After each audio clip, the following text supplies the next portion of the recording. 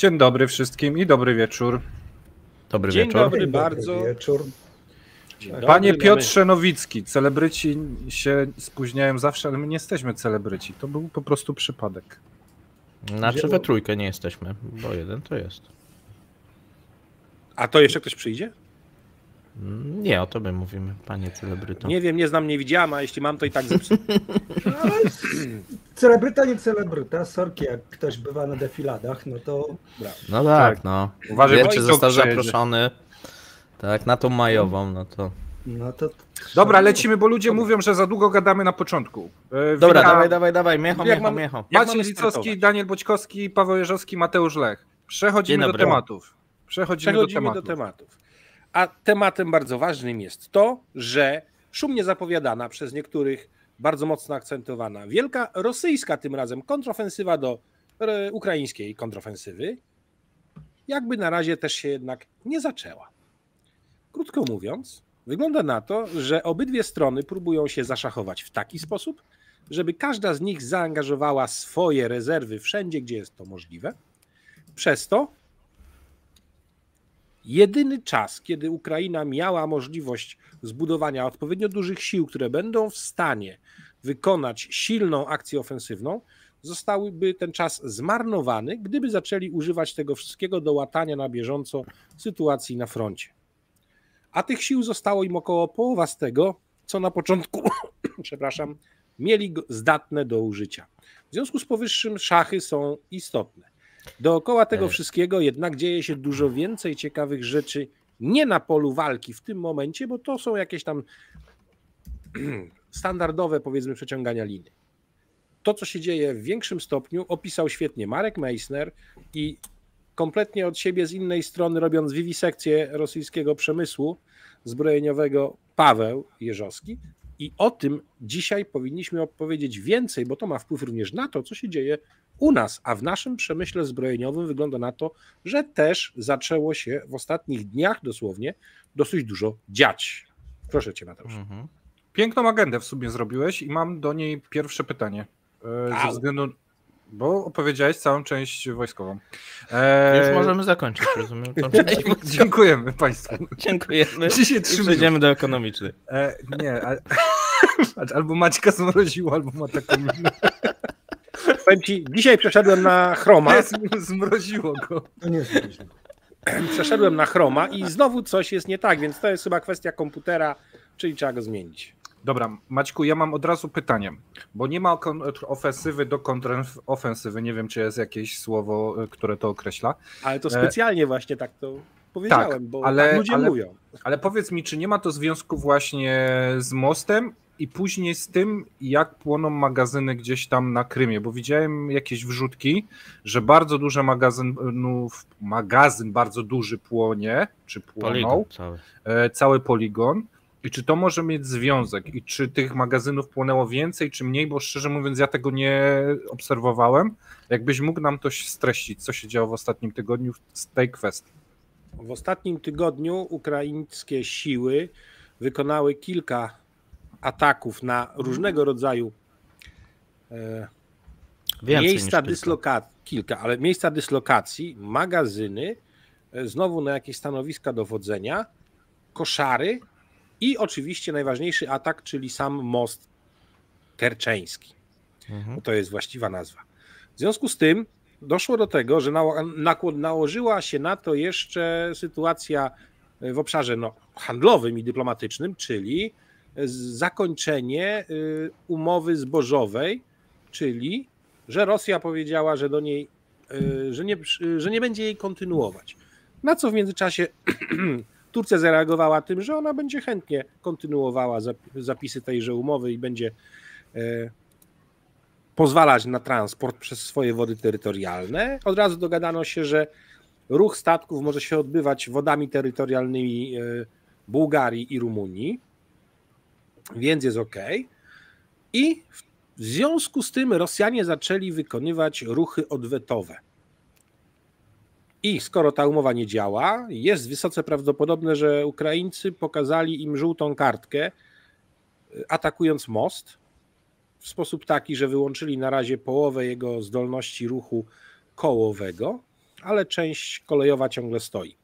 Jeżeli będzie to konieczne, jestem pewien, że mają środki właściwe. Ukraińcy ku temu, by skutecznie zaatakować również most kolejowy.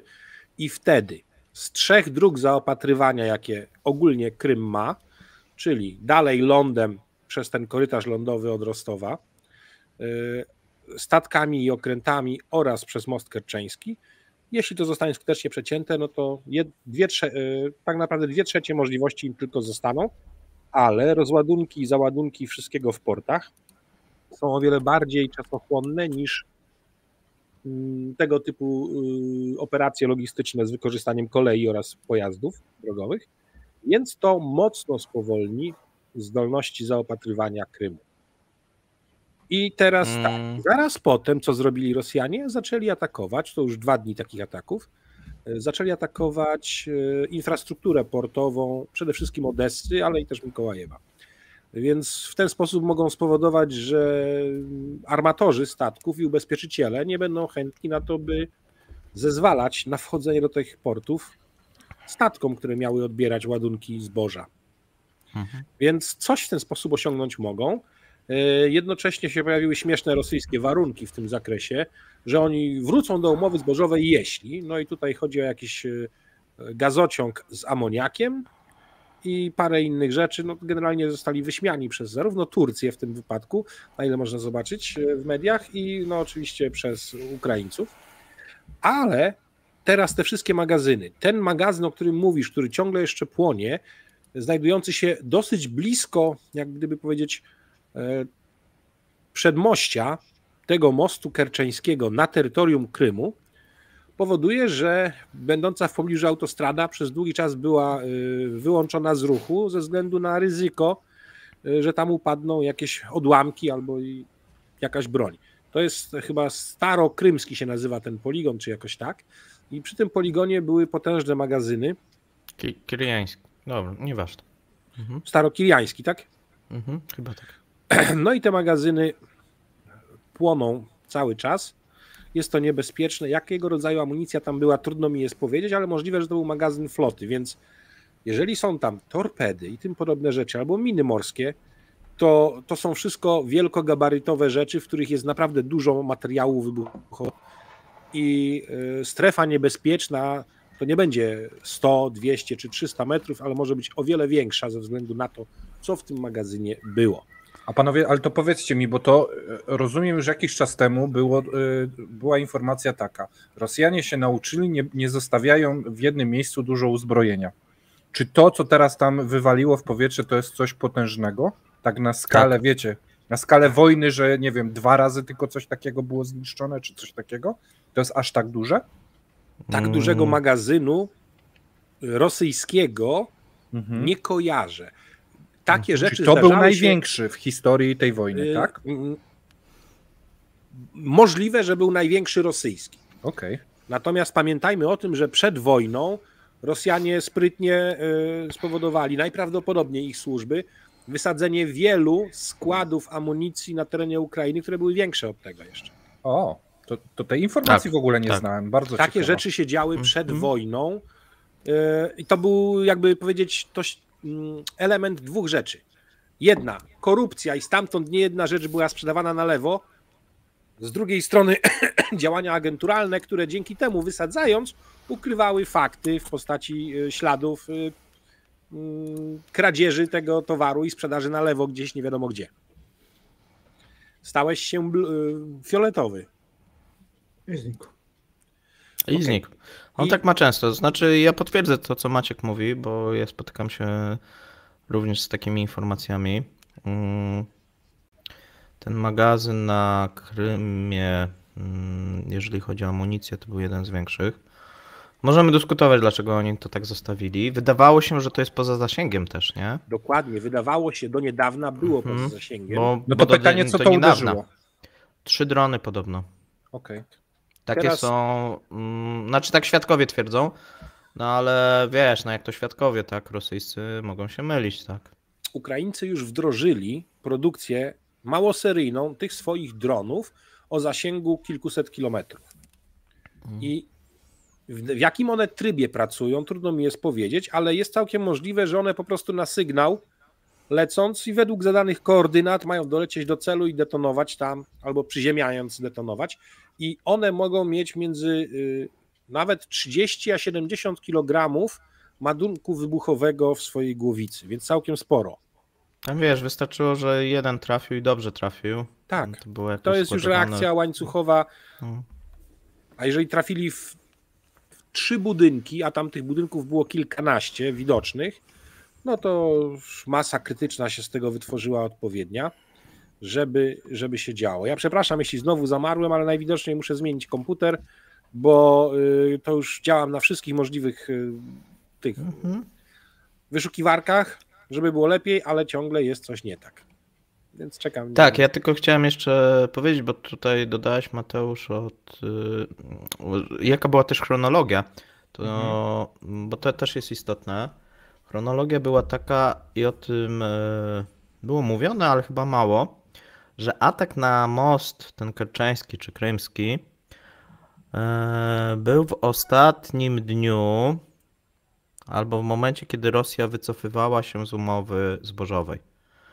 To nie było Dosłownie. tak. Ogłosili, Mhm. że się wycofują i nastąpił atak na most. A więc y, i to jest takie, wiesz, też takie ostrzeżenie i pokazanie Rosjanom, zobaczcie, możemy zaplanować w dowolnym momencie atak na najważniejszy wasz obiekt strategiczny, Szczególnie, Nie jesteście w stanie- prawdopodobnie. przeciwdziałać temu, co znaczy, że atak może zostać powtórzony, Mhm.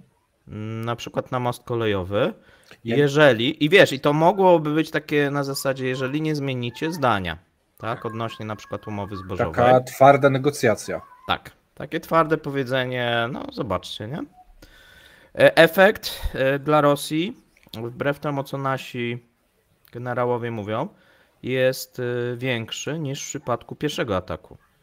Bo w przypadku pierwszego ataku on był symboliczny, efektowny. W przypadku drugiego ataku on ma skutki i militarne, i oczywiście też piarowe, może mniejsze niż pierwszy, tak, no bo jednak jest drugi i nie jest tak spektakularny, nie wybuchła ciężarówka, nie było wielkiego boom pokazanego w telewizji.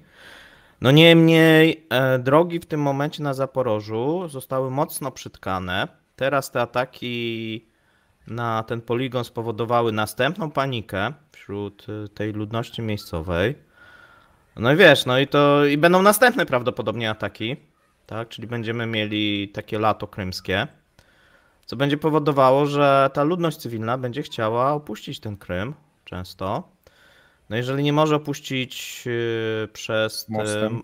most, no to będzie musiała pchać się przez to Zaporoże, a to Zaporoże jest cały czas pod ostrzałem. Tam jest bardzo duży problem, jeżeli chodzi o Mariupol, ponieważ pamiętajmy, że ta powiedzmy autostrada czy droga ekspresowa, która biegła wzdłuż yy, wzdłuż powiedzmy jednego morza i drugiego, wzdłuż głównie Azowskiego. I tuż przy E, Azowstali. W wielu miejscach ma zwężenia, jest remontowana, była remontowana, tak? No i w tym momencie no to wyglądało tak, o, że jeszcze do wczoraj no były korki 10-kilometrowe, tak? E, To dobra, ja, ja może uzupełnię Mhm. kwestią i zapytam od razu was, bo tu akurat wyczytałem na obcych e, gdzieś tam źródłach e, amerykańskich czy, czy mhm. YouTubach po angielsku. E, Ponoć e, zamach był przeprowadzony za pomocą sterowanych lub zaprogramowanych skuterów e, wodnych. Czy możecie Mhm. to potwierdzić?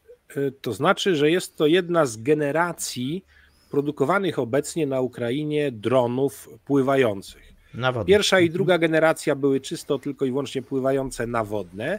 Jest Mhm. jedna generacja podwodnych z wystającym takim jakby peryskopem i kamerą, która pozwala To śledzić. te, do I których o- dosyć często strzelali ostatnio. Tak, Bo one a podpływały. Tak, a te ostatnie, tak jakby wykorzystując y, te waterjety, bo Mhm. jest to o wiele tańsze Mhm. e, niż robiąc to wszystko w tej technologii jak dla pierwszych dwóch generacji. Rzeczywiście na tym były one oparte i uderzyły w Czyli, ten, czyli to jest prawda, że to skutery takie, co się wiecie, wypożycza, żeby pojeździć, Mm. zostały No nie, przerobione? no nie takie. Nie, nie, nie. Nie, nie, nie, nie, nie, nie, nie, nie. Tutaj bardziej coś Aha. w stylu tych, którzy napędów, tych, które są elektrycznych, Mhm. E, No i okazało się, że piekielnie skuteczny, no bo jednak trafiono bardzo precyzyjnie w e, Mhm. filar, doprowadzając do zerwania całego przęsła i uszkodzenia filaru, bo tam z przęsłem samym to mogliby sobie pewnie poradzić. Mhm. Ale wyłączenie filaru znowu z uszkodzeniem Mhm. filaru to jest dokładnie to samo, co mieli, kiedy im, e, kiedy im ciężarówka rąbnęła i to się złożyło i zerwało. Bo te filary jednak, e, one zawsze są wrażliwe, szczególnie na tych łączeniach, no to no, praw fizyki się nie zmieni. To rzeczywiście będzie dla nich duży problem, bo znowu zdejmowanie całych nitek, odtwarzanie filarów, wzmacnianie całego osadzenia, trochę robotki. Dobra, to ja tutaj odpowiadam odnośnie Martina. Y, W sobotę jedziemy razem na spotkanie. Martin po prostu pracuje. Y, Ma zmiany różne i akurat czasem tak ostatnio wypada, że jest w czwartek wieczorem w pracy. Natomiast pisaliśmy godzinę temu i jedziemy i się widzimy wszyscy w sobotę, więc wszystko jest ok. I drugi temat, który chciałem wtedy poruszyć, czyli to nie są takie skutery, bo tam widziałem taki print screen, że to taki skuter wodny. Myślałem, że wow, nie taki tak przerobili. Okej, to jest jedno. Drugie e, informacje czytałem taką, że jedną nitkę są w stanie za, naprawić do końca sierpnia, a drugą do października. Czy słyszeliście takie Mm, informacje? Nie, nie, nie, nie. A to skąd? Do Ja słyszałem września. do połowy września, tą Mhm. szybciej, co mogą zrobić, Mhm. Okej, a drugą niestety bliżej końca roku.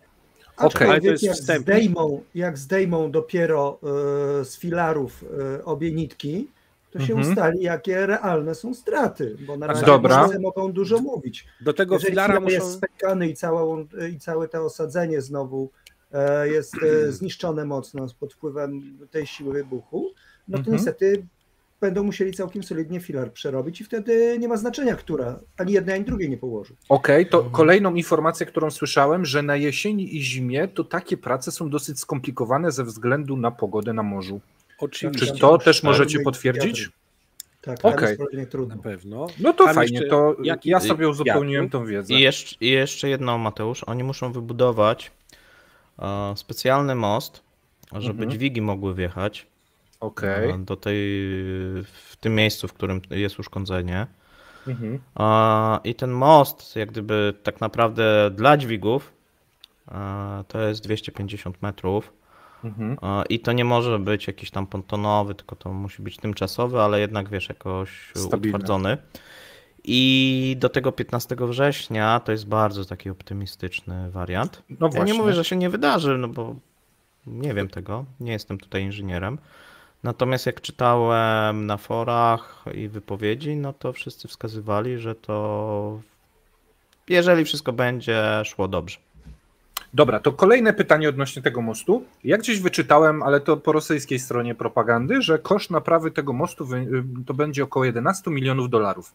Z tego co mówicie, to jest jednak do pół roku pracy, do budowania jakiegoś mostu, do konstrukcji. Wygląda mi, że to się nie spina finansowo. Czy, czy uważacie, że to jest y, możliwe za tak niską kwotę? Rubel traci na Kompletnie wartości, niemożliwe. Kompletnie A, Rubel niemożliwe. traci na wartości. No tak. Tak, no bo popatrz.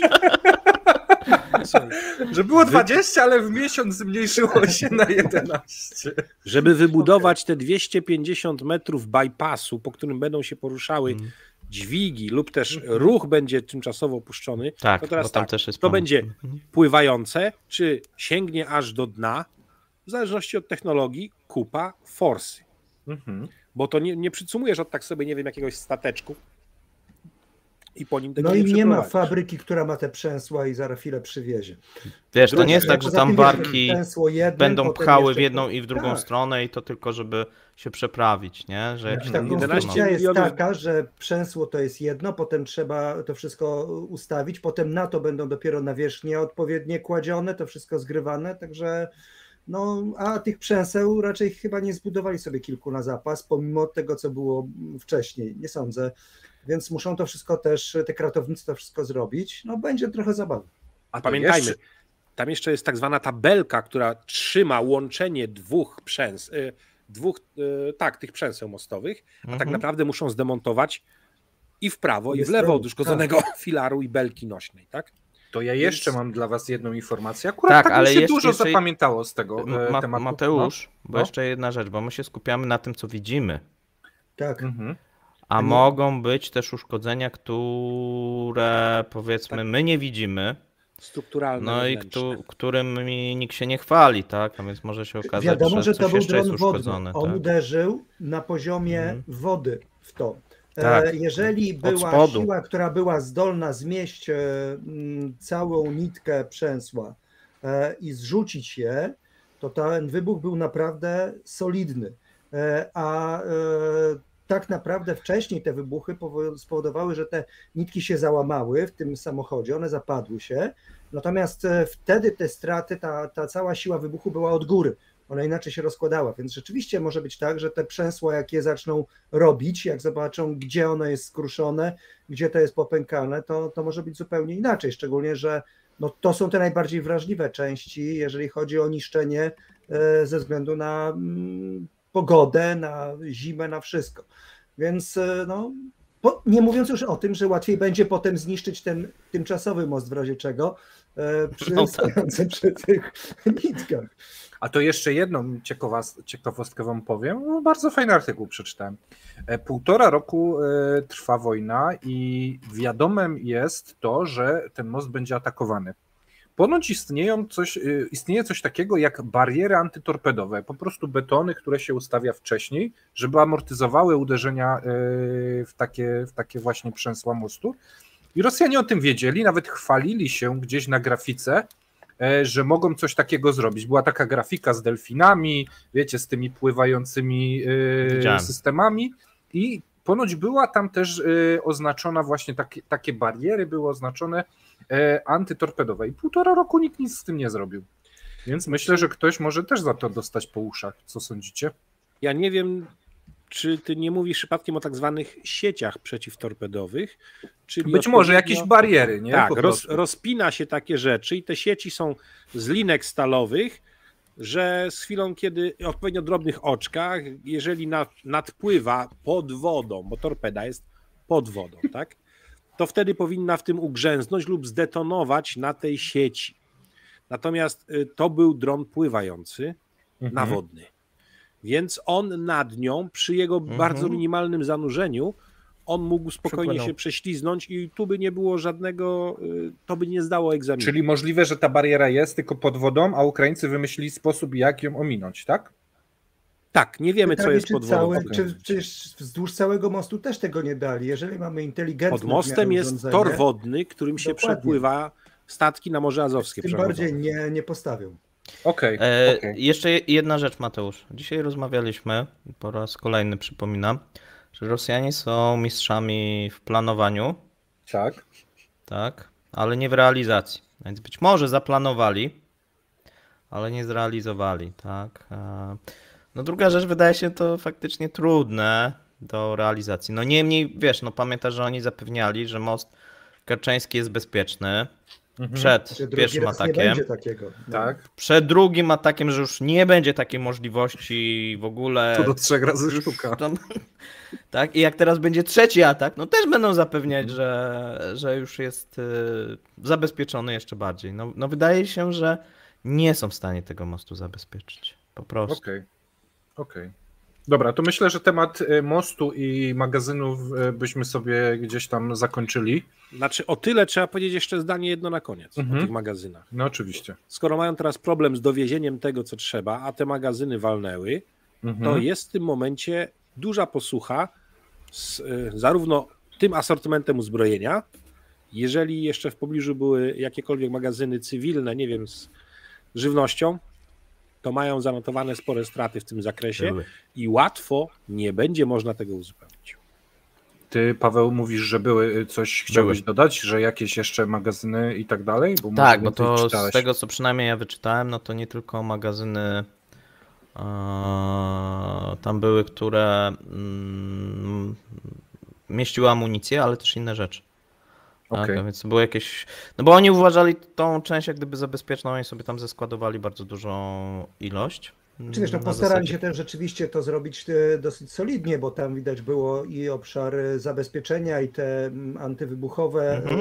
e, zabezpieczenia. Natomiast Tak. jeżeli to rzeczywiście trafiło na przykład w magazyn torped i trafiło w te. Wszystko wskazuje, że paliwo, tak. Mhm. No to wtedy nic nie pomogło. Tam, To wiesz, bo oni wszystko jak gdyby mieli tam takie zusammen, tak? Czyli mieli i torpedy, I na przykład tam były magazyny z, y, związane z paliwami, nie? Jak gdyby wszystko mieli wspólne i to było, wiesz, umiejscowione na poligonie, który z ich punktu widzenia był poza zasięgiem ukraińskiego. A no, powiedzcie mi, jeżeli to rakiet. poligon, to tam jakieś ofiary w ludziach, bo ja nie, nie śledziłem tego. Oddział jakiś się ten Nie.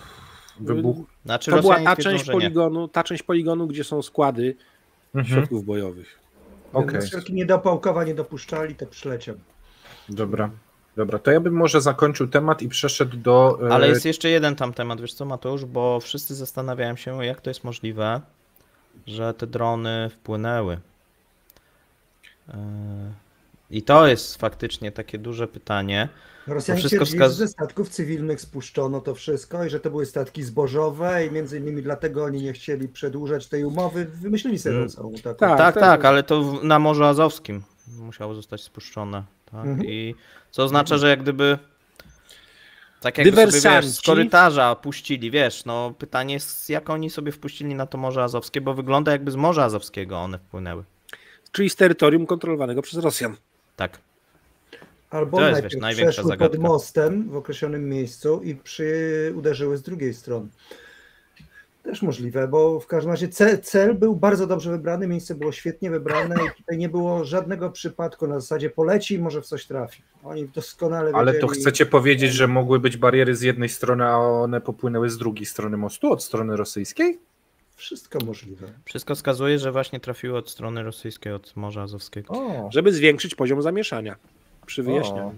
No i O. teraz wiesz, wszyscy oczywiście zastanawiają się, jak to bo możliwe, rozumiem, od strony ukraińskiej jest linia kolejowa, tak? A od strony y, rosyjskiej jest ta linia y, Znaczy oni się drogowa? bronili przed, na, przed tą stroną morską, yy, z której yy, wszystko mogło być, bo dopłynęłoby po prostu z obszarów yy, tych, yy, gdzie idą yy, szlaki handlowe. Mhm. Bo oni cały Mhm. czas twierdzili, że to z, Mhm. yy, prawda, ze statku zbożowego spuszczono i tak dalej.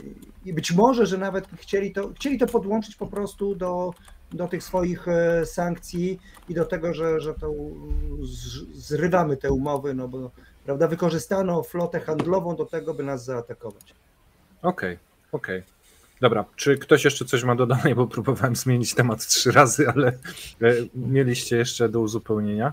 Wszystko? To chciałbym, chciałbym poruszyć temat e, realnych możliwości przemysłu e, obronnego w Rosji, bo Paweł dzisiaj napisał świetny artykuł i za chwilę po Pawle uzupełnił to też swoim wpisem Marek Meissner. Dokładnie I tak. Marka będzie reprezentował Maciej, a Paweł będzie sam siebie reprezentował. Myślałem, że ty będziesz mnie reprezentował. Mógłbym, ale skoro jesteś, to Dobrze. wiesz, to, to wypowiedz się. To zacznijmy od ciebie. No słuchajcie, no wygląda to tak. To, to był bardziej taki ekonomiczny artykuł niż militarny, No ale łączymy Nie. tu akurat te dwa wątki. ponieważ no, Rosjanie, tak jak wiecie, w zeszłym roku rozpoczęli inwazję na Ukrainę i rozpoczęli jak gdyby dwa, procesy. I dwa procesy wydają się na ten moment niewystarczające. Pierwszy to jest mobilizacja żołnierzy. No i była mobilizacja we wrześniu, październiku. Mm, Jeżeli chodzi o powszechną mobilizację, teraz też trwa mobilizacja, tylko ona już nie jest tak duża, jak y, była ta we wrześniu i w październiku. I drugi proces to było przestawienie gospodarki na tryby wojenne. I to tak naprawdę zaczęło się dopiero w październiku. To znaczy, oni twierdzili wcześniej, że w lipcu coś zaczęli. Nasi eksperci to podchwycili i wszystkie te plany, które Rosjanie przedstawiali, e, sprzedali jako realizację.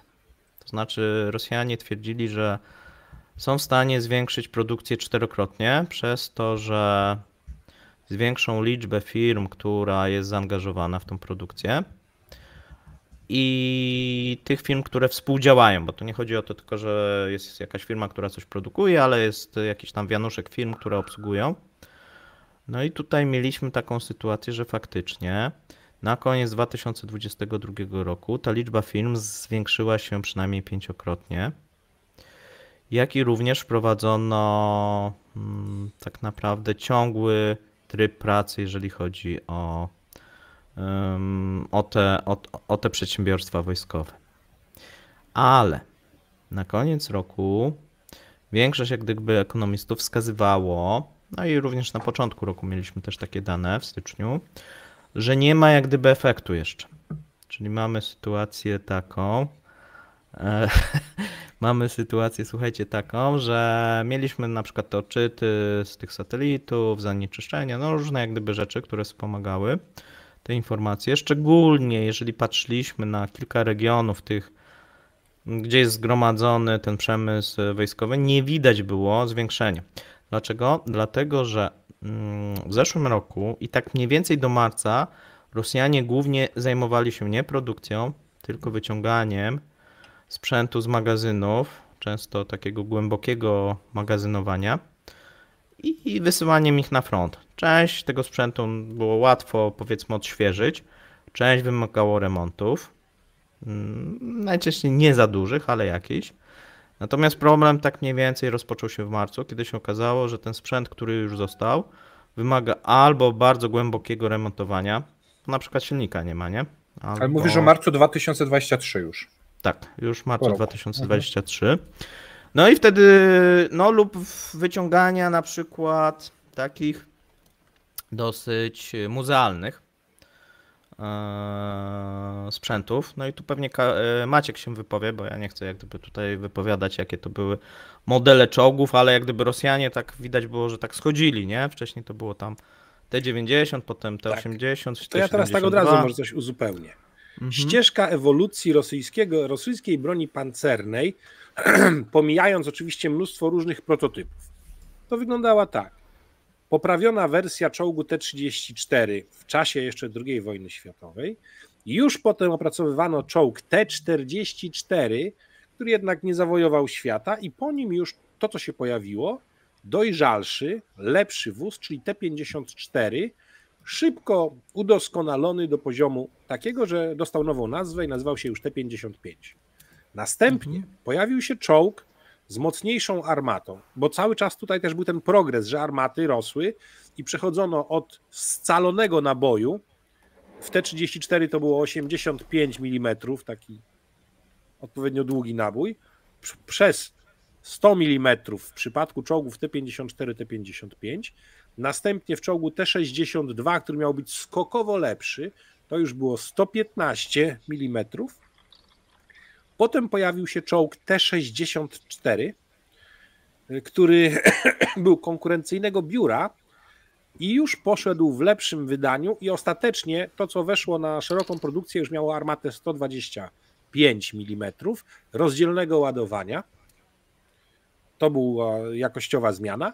I po czym pojawiły się czołgi T-72 i konkurencyjny do niego T-80, gdzie T 64 dał dużo z siebie do czołgów T-80 i ostatecznie potem w Charkowie produkowano wersję dieslowską tego, tych czołgów do silników tam opracowanych. I sobie już po tym, jak się wyłoniła niepodległa Ukraina, dalej z tym, w jaki sposób tam prowadzono produkcję, a na bazie tego, czym jest czołg T-72, wymyślono nowszą, na początek eksportową, ale później już też e, wersję własną, czyli czołgi T90, które są teraz w wersji tej Proryw 3 z kolejną mhm. generacją tej 125 mm armaty współczesnym, najlepszym wyposażeniem rosyjskiej armii oraz zmodernizowane czołgi T-72B3. A teraz obserwujemy, że schodzimy. Czołgi T-90 i T-72 w uproszczonych wersjach na potrzeby wojny, a przepraszam, operacji specjalnej. Nie, wojny już piszą tam, wiesz. Już no więc tak, operacji wojskowej, pi wojennej piszą też. Tak, na te potrzeby. Już, no, ale już czasami piszą też wojny. A, nie wystarczają, B, y, jest ich za mało, C, nie do końca jest z czego je robić, bo oni najwięcej ich przez modernizację robią, a nie przez nową produkcję i zaczynają wybierać cały czas schodząc generacyjnie w dół. I teraz jest ten ruch wsteczny. Były te 90, te okay, 80, mnie się zamroził. 72, 64, 62 i sięgnęli już do T55.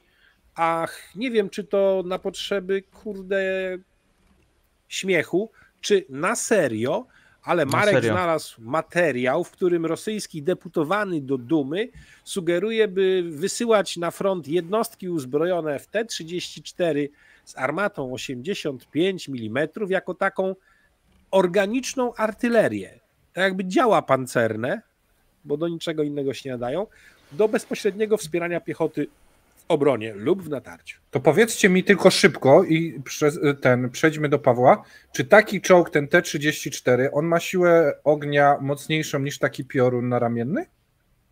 A ty mieszasz Zależy. No Broń dobrze, ja, ja wiem, że ja wiem, że ja mieszam. Okej. Ale- broń przeciwlotniczą, No. w tym momencie atrapą artylerii samobieżnej. no dobra, no ale masz coś takiego bazukowatego, ja się A, na tym nie znam. Czyli jakiś granat. Tak, tak, okej, no, nowoczesny, e, który jeden hopek sobie nosi, a T-30 coś. e, To powiedzmy taki zwykły, e, nawet ruski granatnik przeciwpancerny. Ma jedną rzecz, zasięg do 500 metrów, taki podstawowy Mhm. granatnik. Tymczasem T-34 strzeli y, ogniem na wprost, na spokojnie na 1000 metrów, nawet troszkę więcej, Więc- a ogniem Mhm. pośrednim no na 4. Okej. Więc jest to różnica. Jeszcze odrobinę pancerza ma. Natomiast jak. Poza podejdzie tym lepiej wystarczająco... strzelać z czegoś, co ma trochę, że tak powiem, metalu wokoło, niż się wychylić Tak. i strzelać. Natomiast jak się Nawet zbliży jak na odległość. Jak się zbliży na odległość skutecznego strzału każdego granatnika, w tym tego podstawowego y, RPG-7, Mhm. to zostanie z niego tylko, y, jakby to powiedzieć, kadłub y, otwarty jak tulipan bez wieży. No. Czyli e, wyszło na moje, lepiej mieć takie drobne, się tu gdzieś przebiec, strzelić, rozwalić. Oni budują czołg, pakują tam cztery osoby, a można to roz, rozwalić praktycznie wszystkim w tym momencie? stacjonarnych raczej nie. Tą współczesną bronią przeciwpancerną na pewno, a natomiast przeciwpancernych pocisków kierowanych żal by mi było na tego typu czołgi, żeby je marnować. Czyli to jest, chcesz mi powiedzieć, że to jest ten rodzaj sprzętu, że bierzesz pocisk i mówisz, kurde, ten pocisk jest droższy, szkoda go? To Niż ten czołg. rodzaj- Do takiego czołgu, tak. Porównywalne, tak. Do takiego czołgu tak. Okej. Tak, tylko Okej. że, że jeszcze jedna rzecz, ja już tutaj wejdę wcześniej, e, bo oni chcą to używać tak jak T54 czy tam T55 jako stałe stanowiska ogniowe. To co mówił Maciek, tak? Dobrze mówiłem? Czyli Maćku? zakopać To znaczy ziemię, z ziemię i takie kręci Poczekaj, się poczekaj, niech. Maciek do tej obrony, do tej obrony ze Tak. względu na e, rodzaj amunicji, która jest w stanie uszkodzić co najmniej czołgi, przeciw, w tym momencie ukraińskie. Mhm. to czołgi T-55. Natomiast jako forma artylerii wsparcia, Mhm.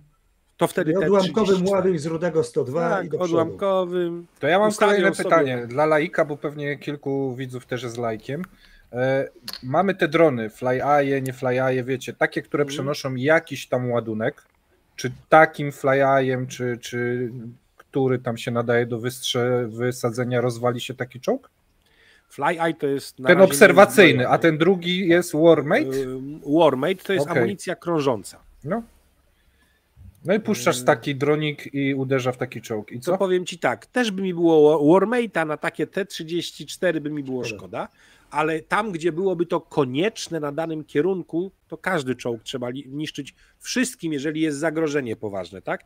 Natomiast Mhm. do takich T34 to improwizowany dron z Mhm. granatem, ręcznym granatem kumulacyjnym RKG-3 na przykład. Czyli to, co R- widzimy na tych wideach, taki Tak. e, e, DJI z granatem, co wrzucają do okopu, to wystarczy Może zadziałać, tak.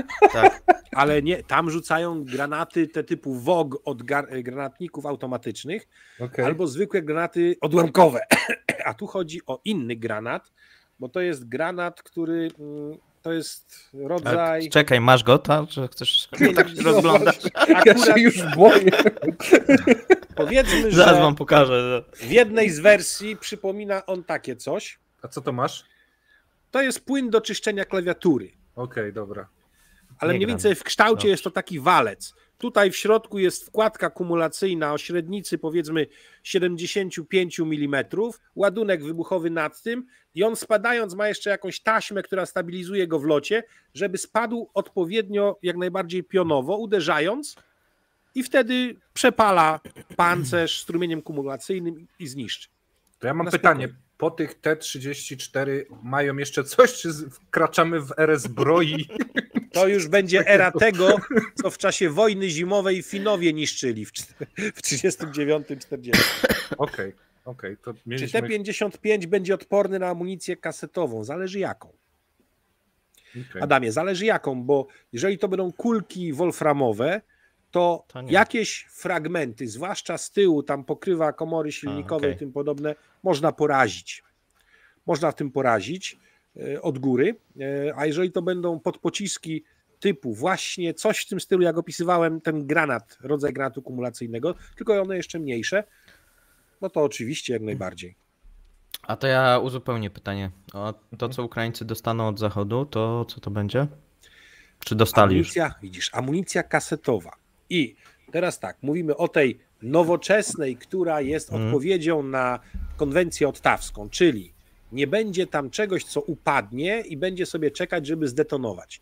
Czyli nie będzie takich samodzielnie opadających y, bombek, granatów i tak dalej, tylko właśnie będą te kulki wolframowe, które rażą, bo one później, po wojnie, no jak tego nie zjesz, to ci krzywdy nie zrobi. Mhm. Natomiast tego typu amunicja kumulacyjna, rozrzucana podczas detonacji tego elementu cargo w, tym, y, w tej amunicji kasetowej, 3 do 5% należy przyjąć bankowo, że będą niewybuchy. I one są potem bardzo niebezpieczne. I Okej. y, z tej uwagi właśnie było to, aby y, nie stosować tego typu broni, bo ona robi prawie jak miny y, rozrzucane w sposób niekontrolowany. Super. No to wracajmy do Pawła wypowiedzi, bo y, w połowie... Tak, bo to jak gdyby się uzupełnia, słuchajcie, no bo na początku roku Centrum Bezpieczeństwa Międzynarodowego i wiele jak gdyby tych rosyjskich instytucji dało pewne wytyczne, mm, jeżeli chodzi o, można powiedzieć, przemysł wojenny i prowadzenie wojny. Wskazywali tutaj na kilka rzeczy, czyli pierwsza rzecz, wskazywali, że obecne straty lotnictwa, które Rosjanie posiadają, nie umożliwiają im odbudowę i zwiększenie możliwości tego lotnictwa ze względu, no oni tam podawali na wysokie koszty szkolenia pilotów, na wysokie koszty statków powietrznych. Ja mówię tutaj zarówno o samolotach, jak i śmigłowcach. A więc oni wskazywali, że w tym konflikcie, a być może nawet w przyszłych, znaczenie broni konwencjonalnej, takie jak, czyli to jest trochę inaczej chyba jak chyba u nas niektórzy eksperci, takie jak, mówimy o Ukrainie, tak, takie jak czołgi, artyleria, bojowe pojazdy opancerzone będą, będzie rosło. I coś takiego obserwujemy, no bo jeżeli spojrzymy obecnie, co na przykład Zachód dostarcza Ukrainie, no to widzimy artyleria, czołgi, pojazdy opancerzone. Mhm. E, Natomiast no, Rosjanie też to jak gdyby wskazywali, że tutaj powinien nastąpić wzrost. I oni wskazywali, że szybko trzeba doprowadzić do sytuacji masowej produkcji, co będzie wymagało ujednolicenia i obniżenia, i to jest jak gdyby chyba tutaj kluczowe, zaawansowanego sprzętu w celu obniżenia ich kosztów.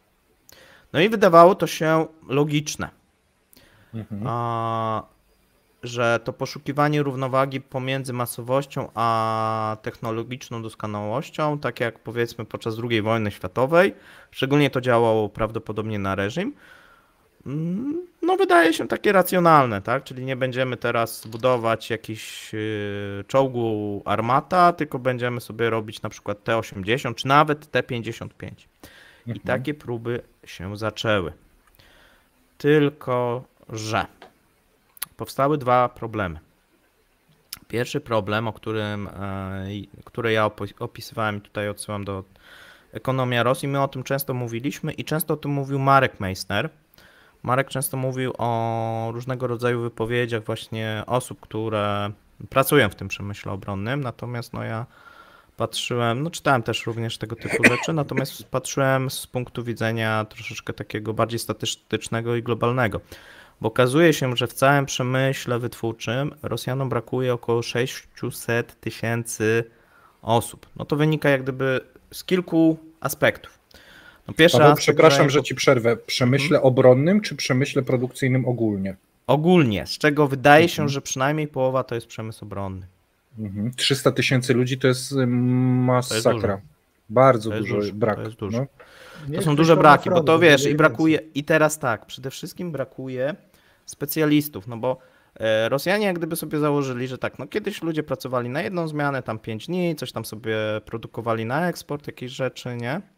Mhm. E, tylko, że mieliśmy taką tą gospodarkę globalną. Jeżeli potrzebowałeś jakieś komponenty, no to je zamawiałeś z Chin, z Francji, z Niemiec, z jakiegoś tam kraju.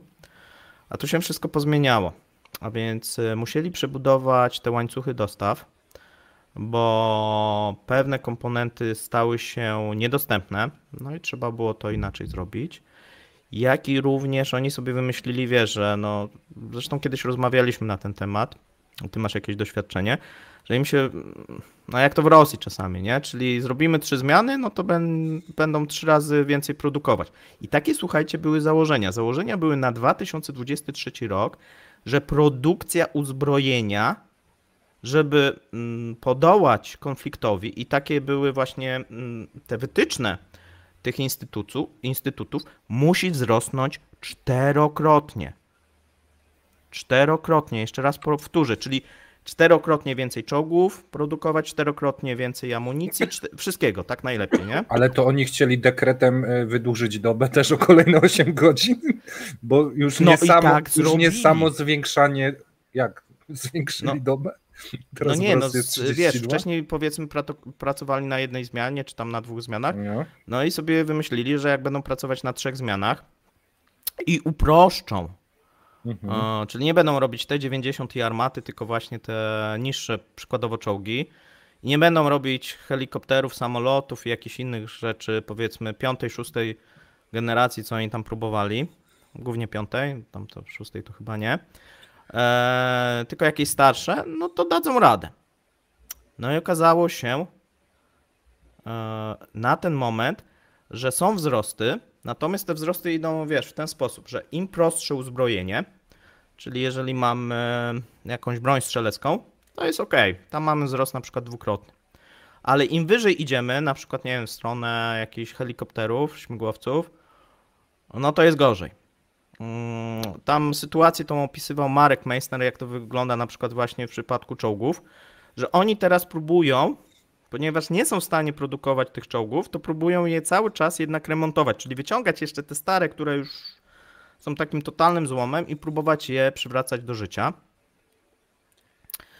Co jest kiepskim pomysłem. E, natomiast jeżeli chodzi o produkcję, no oni mają jak gdyby problem w wielu obszarach. Największym tym obszarem, który jest problematyczny, to jest ta mikroelektronika. No bo nie ma, bo oni nie mają jak gdyby tutaj komponentów. No ale, ale mówi się, że sprowadzają w zabawkach, w pralkach i tak dalej. Tak, ale to jest wiesz, taka ślepa ślepa, ślepy zaułek, ja tutaj podawałem, tak, no to jest takie pójście tym, tym tropem irańskim, bo Irańczycy podobnie robią. Tylko pamiętajmy, że chipy czy jakieś tam podzespoły, które są używane do zabawek, nawet one mogą mieć te same numery, ale bardzo często firmware się różni. Wiem, bo coś takiego kiedyś oprogramowywałem.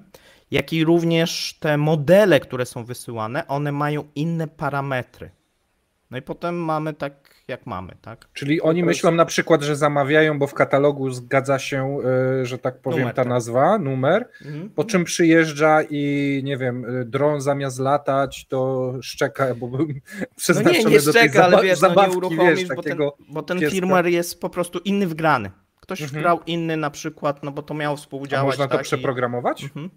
Tak? Można. Można. Okej. Okay. A do tego ale, jeszcze warunki Ale pracy. to producent może przeprogramować, ale ty jako e, trudny proces, to nie jest proces. To teraz sobie okay. wyobraź jeszcze warunki Nie da się pracy. tego zrobić na skalę masową. Powiedzmy zamówili no, tak. 2000 i Kil, kilka robić. powiedzmy jakichś tam prototypów zrobisz, nie? Czyli jesteś w stanie coś tam sobie złożyć, sklecić, coś tam będzie działać, ale czy to dobrze mm -hmm. będzie działać, to i tak dalej, i tak dalej. Ale żebyś robił właśnie tak, jak oni proponują, na skalę masową, jest problem, dlatego oni starają się zejść. Tylko, że jak schodzą, to zaczyna się inny problem, że nie ma specjalistów do tych y, starszych typu y, tych starszych sprzętów sowieckich. I co Bo oni teraz robią? Młode pokolenie to widziało te y, czołgi w muzeach albo gdzieś na pomnikach. No nie? To oni tam widzieli jest... te 90 armaty, no bo robili to przez ostatnie lata, Mhm. nie? No bo to szło Mhm. na eksport. Powiedzmy, czy tam. mm, No tak, tak. Mie- no i mieli do tam- czynienia, nie? Mieli do Tak, no czynienia. i tu wiesz, mieli jak gdyby, tu wiesz, to jest prosto. Oni mieli coś tam złożyć, na zasadzie był robotnik, tak, jakiś tam inżynier i on tam wiedział, miał powiedzmy schemat, wszystko było opracowane. A teraz nagle wchodzisz w trochę taki nieznany teren. Wydaje się oczywiście, że to jest prostsze. Natomiast nie masz schematów, a jak masz schematy, no to nie masz ludzi, którzy to produkowali wcześniej. Czyli wiesz, co oni robią? No oni ściągają tych emerytów, tych dziadków, którzy wcześniej to robili, do tych fabryk, którzy mają często powyżej 60 lat. O, No właśnie, jak ja tu- 80-latków już nawet ściągają. No, Czekajcie, czek- może i 80 lat. Czekajcie, czekajcie, czekajcie. Emerytura w Rosji jest powyżej 60. Średnia życia w Rosji jest teraz około 64. Chcecie mi O, powiedzieć, że, że, że w tym momencie ściągani są do pracy ci ludzie, którzy, nie wiem, mają już wykupione miejsca na cmentarzach, już się szykują na tamten świat, tak? Są I jedne robią za superwajzora. Po prostu. Okej. Tak. Dopóki I robią za superwajzora, pokazując, co kto ma zrobić, bo sami już nie są w stanie, bo nie te Jak ręce, padnie, że go wynoszą. I spokój. No. Ale jeszcze weźcie pod uwagę jedną rzecz. Warunki, w jakich to coś ma pracować. Teraz latem w czołgu, ile może być w środku temperatura, jak tam nie ma żadnej w ruskim czołgu klimatyzacji? O, No, przyjmijmy, że 40 stopni. Do tego zapylenie, do tego wstrząsy, bo to się porusza tak, i jeszcze oprócz tego dym. I teraz jakieś urządzenie, które miało wesprzeć działanie rosyjskich żołnierzy, zrobione z tego cywilnego y, towaru, chipów, y, czegokolwiek innego, nawet gdyby to miało być pojedyncze jeszcze po staremu kondensatory czy coś, czym to się skończy? przyspieszonym zużyciem, no bo nie ma innego wyjścia. Nie ma stabilnych warunków pracy i jest przegrzewanie, tym podobne i to się sypie x razy szybciej. To też trzeba wziąć Znaczy pod przede wszystkim posadzą skrzynię, no bo Tak, tam... jak nie jest zalane w odpowiednich żywicach, żeby też było odporne na wstrząsy, a też muszą być odpowiednie żywice, bo nieodpowiednie spowodują dodatkowe przegrzewanie się tego wszystkiego. Więc jest dużo elementów, z którymi sobie y, w tym momencie trzeba od nowa zaprojektować całe płytki. Z tym też mogą mieć problemy. Zdublować wielokrotnie ścieżki, więc znowu ro rośnie masa tego wszystkiego oraz wielkość, bo nie mają innego wyjścia. I robi się problem. Więc lepiej Ona- jest uprościć i zamiast systemu Sosna U do czołgów, który powinien być pakowany, jak oni robią te y, czołgi T-80, modernizując je i remontując bardziej, tak, to wkładają starszy system, którego mają więcej, który jest bardziej optyczny niż elektroniczny. Y, Nie ma tam, y, jak to się nazywa, zdolności do tego, że dowódca może przejąć kanał celowniczy oddziału nowego, bo widzi większe zagrożenie. Nie. Może obserwować i może przez telefon wewnętrzny poinformować, co widzi celowniczego. Tak? Więc sprawność tego sprzętu i jego zdolność przede wszystkim do wykrycia przeciwnika, oddania szybkiego, celnego pierwszego strzału też potężnie spada. Czyli okej. co, Pa- jak Ario pokazywał ten filmik, jak w jakim stanie Tunguski przysłali, e, jak wyglądały zawieszenia tego Piękny wszystkiego, to biorąc pod uwagę, że e, coś takiego odstawią na poziomie czołgów, no to to po prostu ruszy. No i przede wszystkim koła zamachowe, to wszystko, co jest najbardziej wrażliwe, plus skrzynie, zapewne się rozsypią, no bo jednak e, nie wiem, czy jest tak dużo osób, które potrafi jeździć powiedzmy tym sprzętem, z tą kulturą jazdy, która kiedyś Właśnie. była. Bo to jest tak, jakby teraz kogoś posadzono na starach z tymi biegami, które trzeba zmieniać. Ciekawe ile osób. Bez synchronizacji. Bez synchronizacji. Ciekawe ile osób by przejechało czymkolwiek. Ewentualnie nawet w Polsce nagle ogłosić, że będziemy mieli biegi w kierownicy, jak stare pabiedy były jeszcze. I to trzeba było przerzucić. Amerykanie, dobra, ale w Polsce, o, ale byłaby rzeź na drogach. E, No Paweł, dobrze, ale teraz- skończyłeś e, swój ten, e, swoją wypowiedź? Pawle? Ja tak. Okej. To ja bym teraz właśnie pouzupełniał te rzeczy, o których wspomniał Marek Meister. Bo dlaczego i co się pojawia? Zaczęli najpierw sięgać po czołgi T-62, robiąc e, oprócz malowania, to jest najbardziej widocznym elementem remontu, żeby one się nadawały do czegoś, to się szybko okazało, że z wielkich planów 800 sztuk w 3 lata, co chwilę było ogłoszenie o tym, że najpierw, że będzie w krótszym czasie, w ciągu roku 600 sztuk, potem, że jednak 3 lata, ale już nawet nie 800, nie 600, tylko może 400, bo oni muszą robić teraz kompletny przegląd kilku rzeczy. Po pierwsze, tego czołgu i muszą sprawdzić, które systemy w nim jeszcze są niedorżnięte, a które trzeba kompletnie wymienić. Zaczynając od armata, kończąc na silnik, skrzynia biegów. Powiedzmy te trzy główne elementy. No i najczęściej się okazuje, że te, które były funkelnówki skierowane na magazyny głębokiego składowania, no to armatę mają jeszcze ok. Urządzenia zamkowe ok. Radiostacja do wymiany w porządku, no ale silnik. I tu, jak on był nówka sztuka, to często się zdarzało, że on był tylko po to, żeby wyjechał, bo wiadomo było, że to stanie i potem tego już nikt nie będzie ruszał. I albo był kiepsko wykonany, albo był rozszabrowany, bo ważne było, żeby sprzedać co się da, gdzie indziej. I jak oni zaczęli przeglądać czołgi na składach, następnie przygotowane wcześniej w produkcji, zaplanowanej z głową kiedyś przez kogoś co do założeń.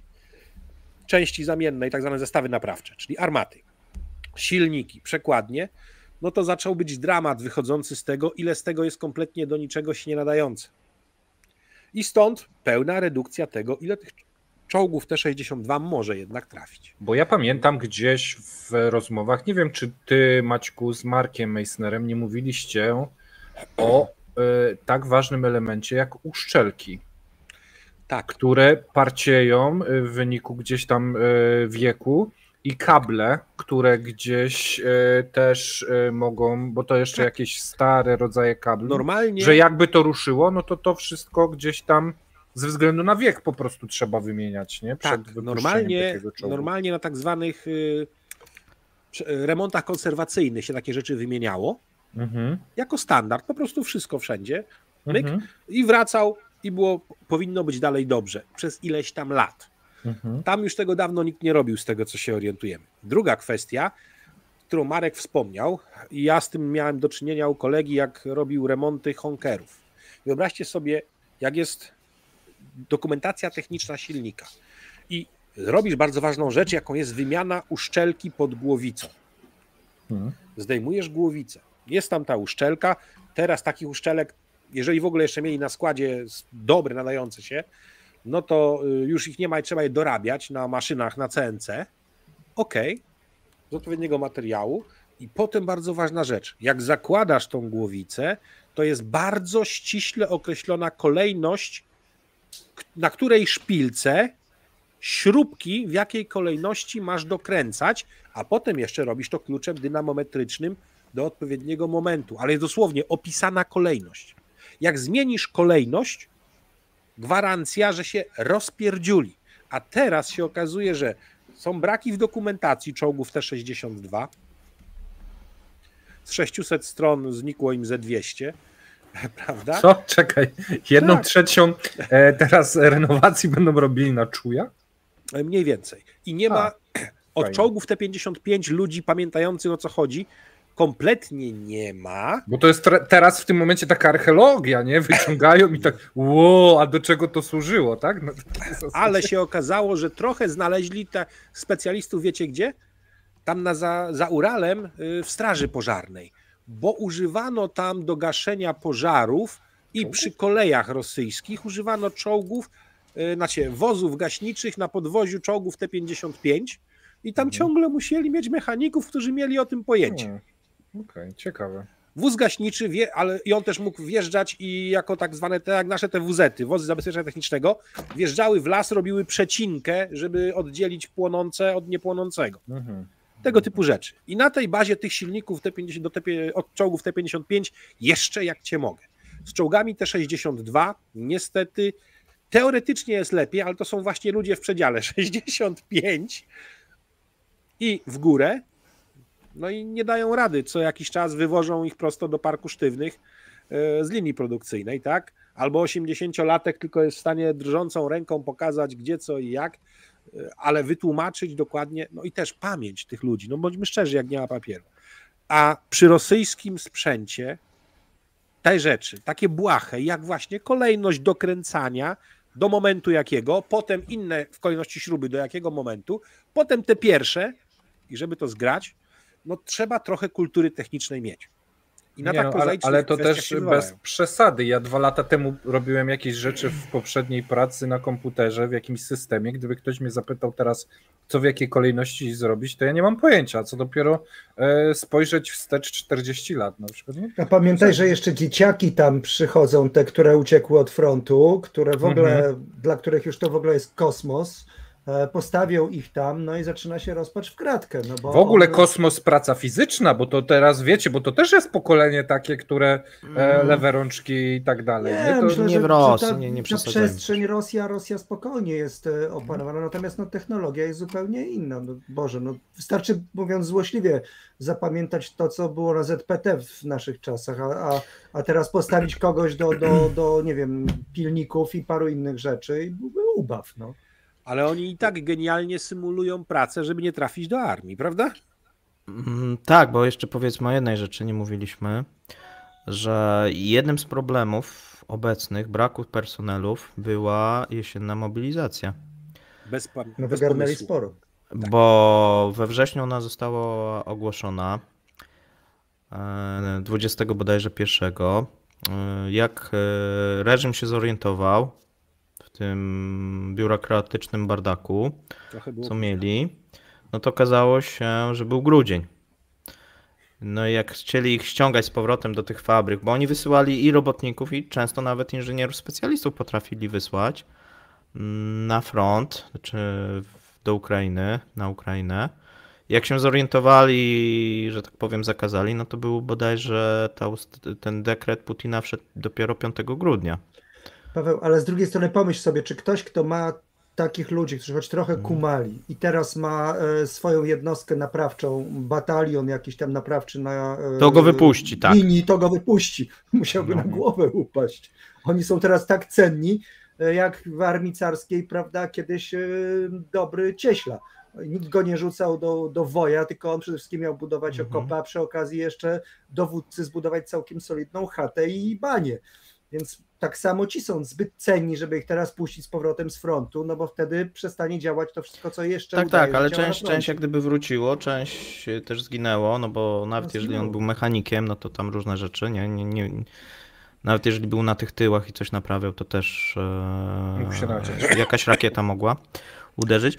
No niemniej sytuacja na obecnie nie wygląda dobrze i mamy na przykład wypowiedź, i to pewnie zainteresuje słuchaczy, bo mamy wypowiedź Dimy, Dimy, Dimy Miedwiediewa, który, a on nie jest jaki tak, tak, żeby przyznawał się do błędów reżimu. Ale taki na powiedział, trzeźwo, że trochę trzeźwo, czy tak? E, chyba na trzeźwo, wiesz, bo tak mówił, że wyodrębnione są obszary, na przykład związane z przyciąganiem personelu do przedsiębiorstw obronnych. To na takim, było takie spotkanie partii Jedna Rosja, on jest wiceprzewodniczącym mm, Rady Bezpieczeństwa i on się tam wypowiadał. E, I drugą rzecz, i to było ciekawe, tak, otrzymywali ogromne zamówienia i nie dysponują niezbędnymi i, nie dysponują niezbędnym personelem do realizacji tych zamówień. Bo okazuje się, że te opóźnienia, czyli to wygląda trochę tak, ja o tym też nie mówiłem, to jest jak gdyby w artykule, więc warto myślę, że ten artykuł przeczytać, przeczytać jeżeli kogoś temat interesuje, że oni w tym roku, y, i o tym mówiłem też e, z Maćkiem, zwiększyli zaliczki.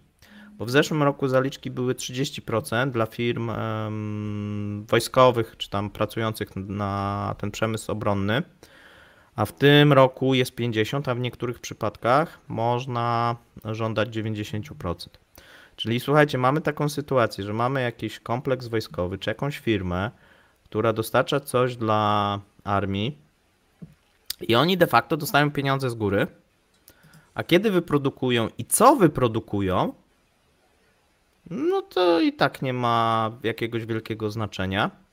Bo jeszcze też bardzo często to, co Maciek mówił, okazuje się, że oni coś wypuszczają z linii i potem to wraca z powrotem mm, z reklamacją.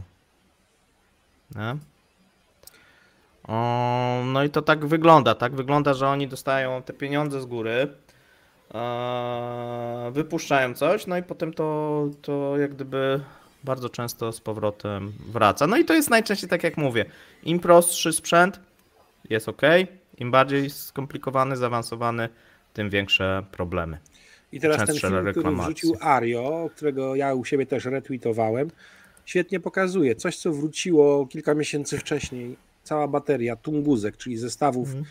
towarzyszących, przeciwlotniczych, które są w brygadach zmechanizowanych, rakietowo-artyleryjskie, czyli e, rosyjska alternatywa dla Geparda, poprawiona o rakiety e, krótkiego zasięgu.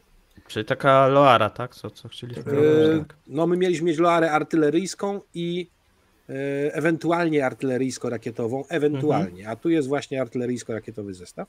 Mhm. No to y, z sześciu sztuk tak naprawdę od biedy, od biedy jedna mogłaby działać na już, a z tych sześciu jakby mieli co najmniej miesiąc, to zrobiliby może trzy sprawne w pełni, Znaczy dwie, bo tam zdaje się, że jedna była taka, że nie wolno się zbliżać, bo zapali bo się. się zapali. W dwóch, były, w dwóch były rozwalone całe zawieszenia, tak że w ogóle to nie było do naprawy. W jednej a w brakowało jednej, a bloków, w jednej bloków a w- sterowania. Po czym tak z te, całego dowództwa, więc dowódca nie był w stanie sterować tym, więc No. no. teoretycznie no jedną góra dwie by po, po paru miesiącach zmontowali z tego, ale nie więcej. A one wszystkie były nówka sztuka, z czego jak fajnie Mhm. pokazywali, były tak pomalowane, że ta farba trzymała chyba ten, ten to, to całe Sprzęt blachy. na- No ale słuchajcie, ale popatrzcie teraz tak z punktu ekonomicznego. Wyprodukowali, wyprodukowali. Kasa się Mamy zgadza. wzrost gospodarczy, mamy. Tak, PKB. front? Dostarczyli. I rośnie wysłane, a że jest reklamacja, no to no, dostaliśmy pieniądze? Dostaliśmy. Dostarczyliśmy towar? Dostarczyliśmy. Reklamacja? Jest Możemy, w ten możemy biznes. robić. No. Możemy robić z powrotem, tak? Nie? Słuchajcie, Zapła- to, Zapłaćcie z powrotem. Dorzućmy jeszcze jedną rzecz. Oni mają pewną ścisłą rejonizację, kto jakie czoł- czołgi, jakie sprzęty mógł e, remontować, produkować. I teraz wyobraźcie sobie, narzucają im e, wysokość limitów produkcyjnych, dorzucają im e, limity remontowe. Tak, Do tego tak, tak wszystkiego jeszcze próbują, że tak powiem, podziałać w temacie podziałać w temacie modernizacji. Za dużo tego wszystkiego naraz. Oprócz tego ktoś fajnie spuentował. Zamiast jednej zmiany są trzy zmiany, tak? Mhm. Na pierwszej zmianie było trzech, a teraz jest po jednym na każdej zmianie. No, I taka specjalistów tak to wygląda, wiesz. No bo ich nie Taka jest ta efektywność. sklonujesz. to ja bym podsumował po prostu e, ten e, moduł tym, że mm, z wielkim trudem mobilizują się do budowania przestarzałego sprzętu i gdy im się udaje, to on jest wadliwy, a jak będzie działał, to i tak jest łatwy do zniszczenia, bo jest przestarzały. Tak, panowie? Czy oni Mm, nie budują? Na razie, na razie Budują, budują. wszystko Nie, tutaj to się nie zgadzam. Oni Budują remontują, ale uproszczone budują. wersje T90 Uproszczone. uproszczone. i uproszczone modele T70 AB3 w wyniku modernizacji. Również Amunicję, T80. broń strzelecką pro, produkują, tak? No tak, ale I cały właśnie czas, tutaj bym, ale e, nie nie- stworzył przecież. I no. jak gdyby, bo teraz się troszeczkę, słuchajcie, troszeczkę się z tego śmiejemy. Niemniej, jeżeli patrzymy na ten rok, i to też podawałem w artykule, mamy wzrost. Nie mamy tego wzrostu oczywiście o 300%, tak jak sobie zakładali, ale jest powiedzmy kilkanaście, być może za moment będzie kilkadziesiąt. W broni strzeleckiej mam, mamy na przykład e, dwukrotny wzrost. Możemy spodziewać się, że na przykład jeżeli wiesz, e, będą zwiększać te nakłady kosztem, pytanie kosztem czego, tak? No wydaje się, że kosztem edukacji, Służby zdrowia i innych rzeczy, to powiedzmy za rok, za dwa lata oni w jakimś tam stopniu się ogarną. Pytanie No bo jest, to czy jest będą kwestia mieli skali. pieniądze na to. Tak, natomiast wiesz, to jest taki powolny proces, że oni są nieporadni, jest to, jest tamto, my się z tego śmiejemy. Niemniej, e, nie jest to wystarczający wzrost, żeby pro, prowadzić ten konflikt e, i zwyciężać, ale na przykład, żeby się bronić, być może, i tu możemy dyskutować, już tak. Nie?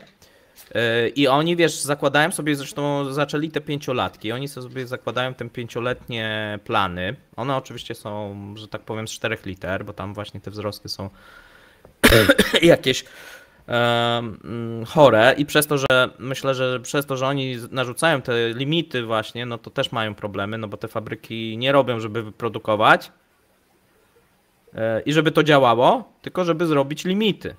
No i właśnie to jest też jeden z elementów, dlaczego coś wyjeżdża, co potem wraca.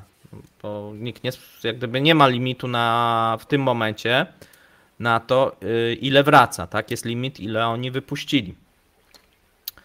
Ale być może to na przykład zmienią. I tutaj y, no nie byłbym akurat takim optymistą, takim zupełnym, tak, że wiesz, że tam jest totalny bardak i wszystko się tam rozwala bo jakieś tam wzrosty są. Niemniej one są, tak jak mówię, niewystarczające dla potrzeb armii. A jeszcze dochodzi jeszcze jedna rzecz.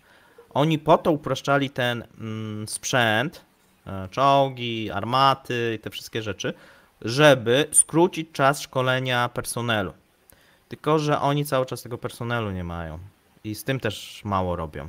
To też jest problemem bo powinni wznowić tą mobilizację, szkolić i to było na przykład w styczniu podnoszone, bo w styczniu w tych y, analizach rosyjscy ci eksperci podawali, że no de facto jest potrzebna następna mobilizacja i szkolenie tego personelu do prowadzenia konfliktu. Ale wiesz Paweł, na czym polega I problem? tego nie robią. Potrzebują person... mimo wszystko, ponieważ opierają się na czołgach, transporterach opancerzonych, tej prostej artylerii, nawet w mobilizacji potrzebują osób, które no, mają pewną minimalną tą taką mhm.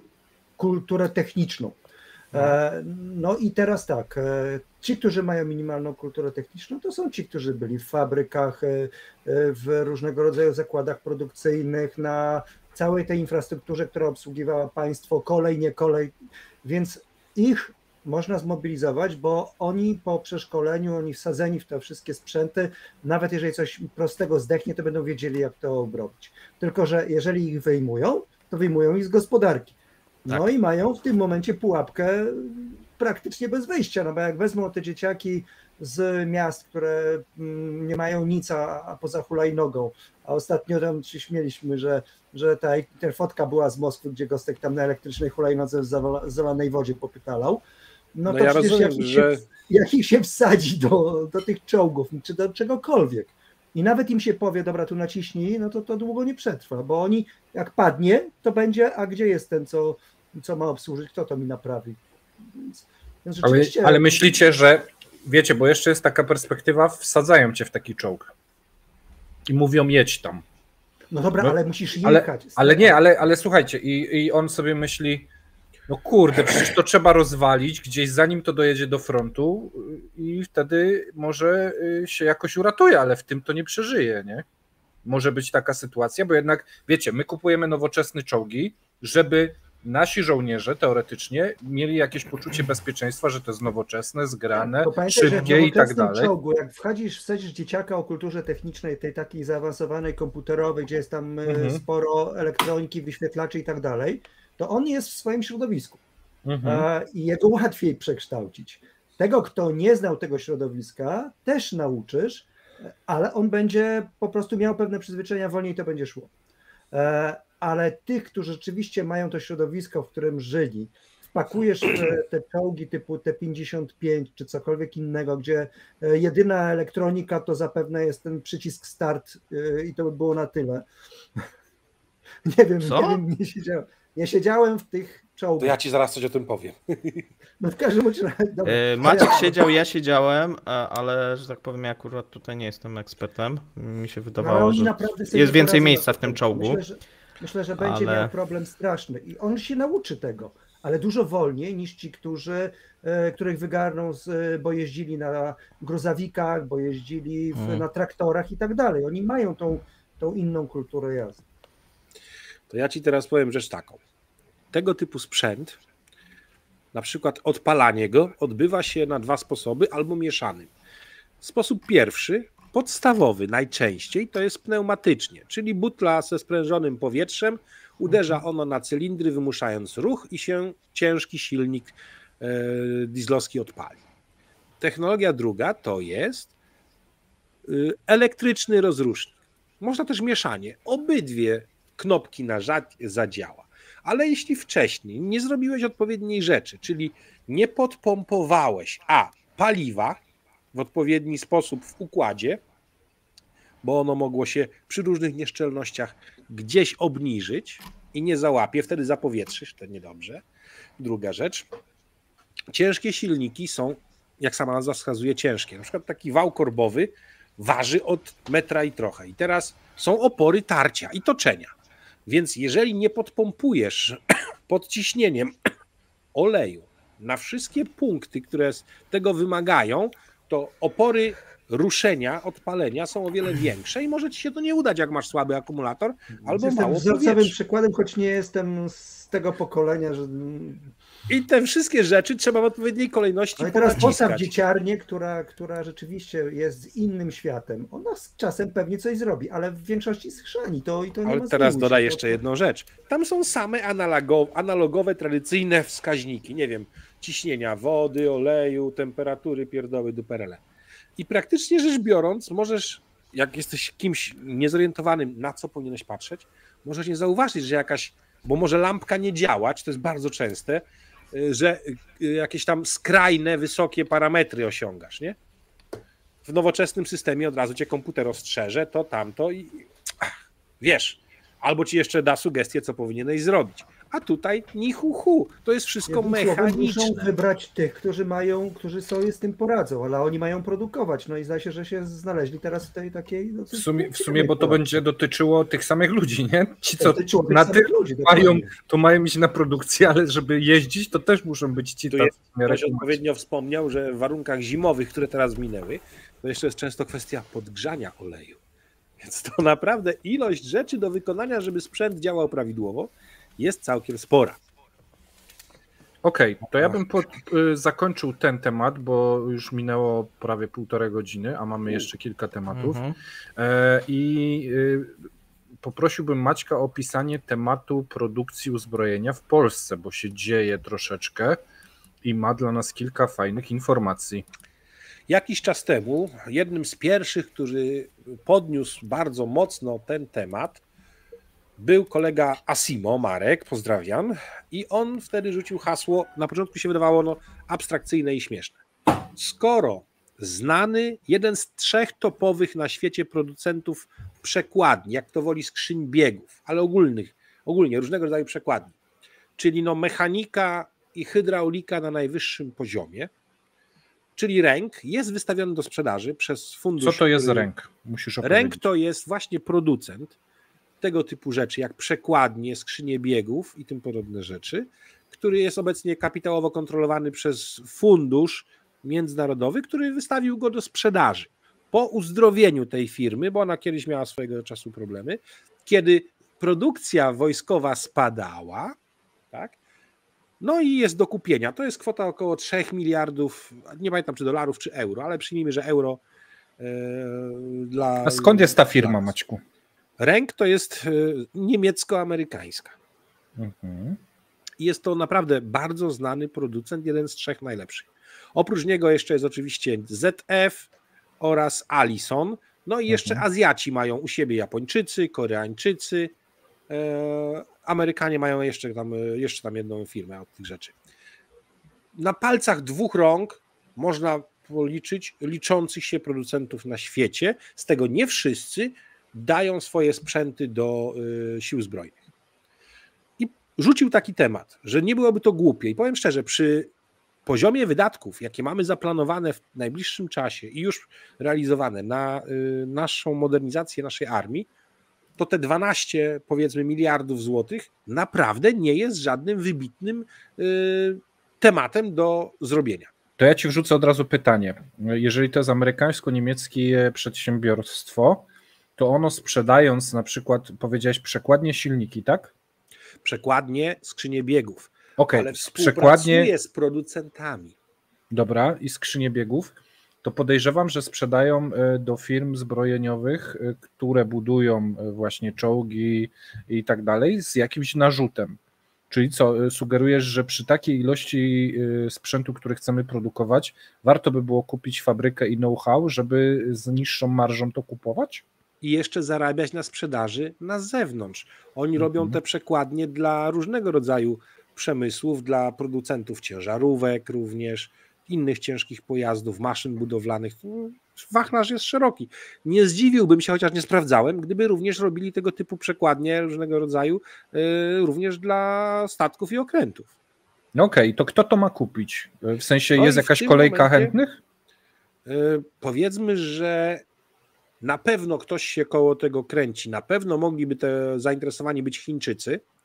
Mhm ale tu będą, uważam, istotne ograniczenia, jeśli chodzi o to, komu to będzie oferowane albo kogo zaakceptuje się. I teraz tak, taki ręk współpracuje z, ze wszystkimi liczącymi się producentami silników, bo często się mówi silnik taki i taki i dedykowana do niego przekładnia. I one razem zmontowane jako tak zwany power pack, czyli komplet. Silnik z przekładnią główną, i to podlegające tak zwanej szybkiej wymianie, bo powiem Wam obrazowo, wymiana Powerpacka w czołgu Leopard 2A4 zajmuje zgranej załodze około 30 minut. Wymiana silnika w czołgach typu szeregu T-72, PT-91 doba. 24 a 55? godziny roboty. A te 55, 34? E, podobne parametry. Okay. Tymczasem dla Leoparda jest to takie, taki czas. No to jest potężna różnica, jeśli chodzi o przywrócenie do, do linii yy, sprzętu. Szybko złączki, sposób upakowania tego, odpowiednie punkty montażowe zawiesia, bierzesz, wyciągasz wózkiem widłowym, cześć jak czapka. A tutaj w czołgach rosyjskich najpierw zdejmij wieżę, a potem, żeby wymienić armatę, podczas gdy w zachodnich czołgach jest armata o montażu tak zwanym bagnetowym, czyli zwalniasz odpowiednie punkty blokujące w środku w wieży i ją wyciągasz. Ale to tu odbiegamy, bo to tak, technikalia. Dobra, to są przykłady. I teraz takie coś, oni z różnymi producentami tych ciężkich silników współpracują.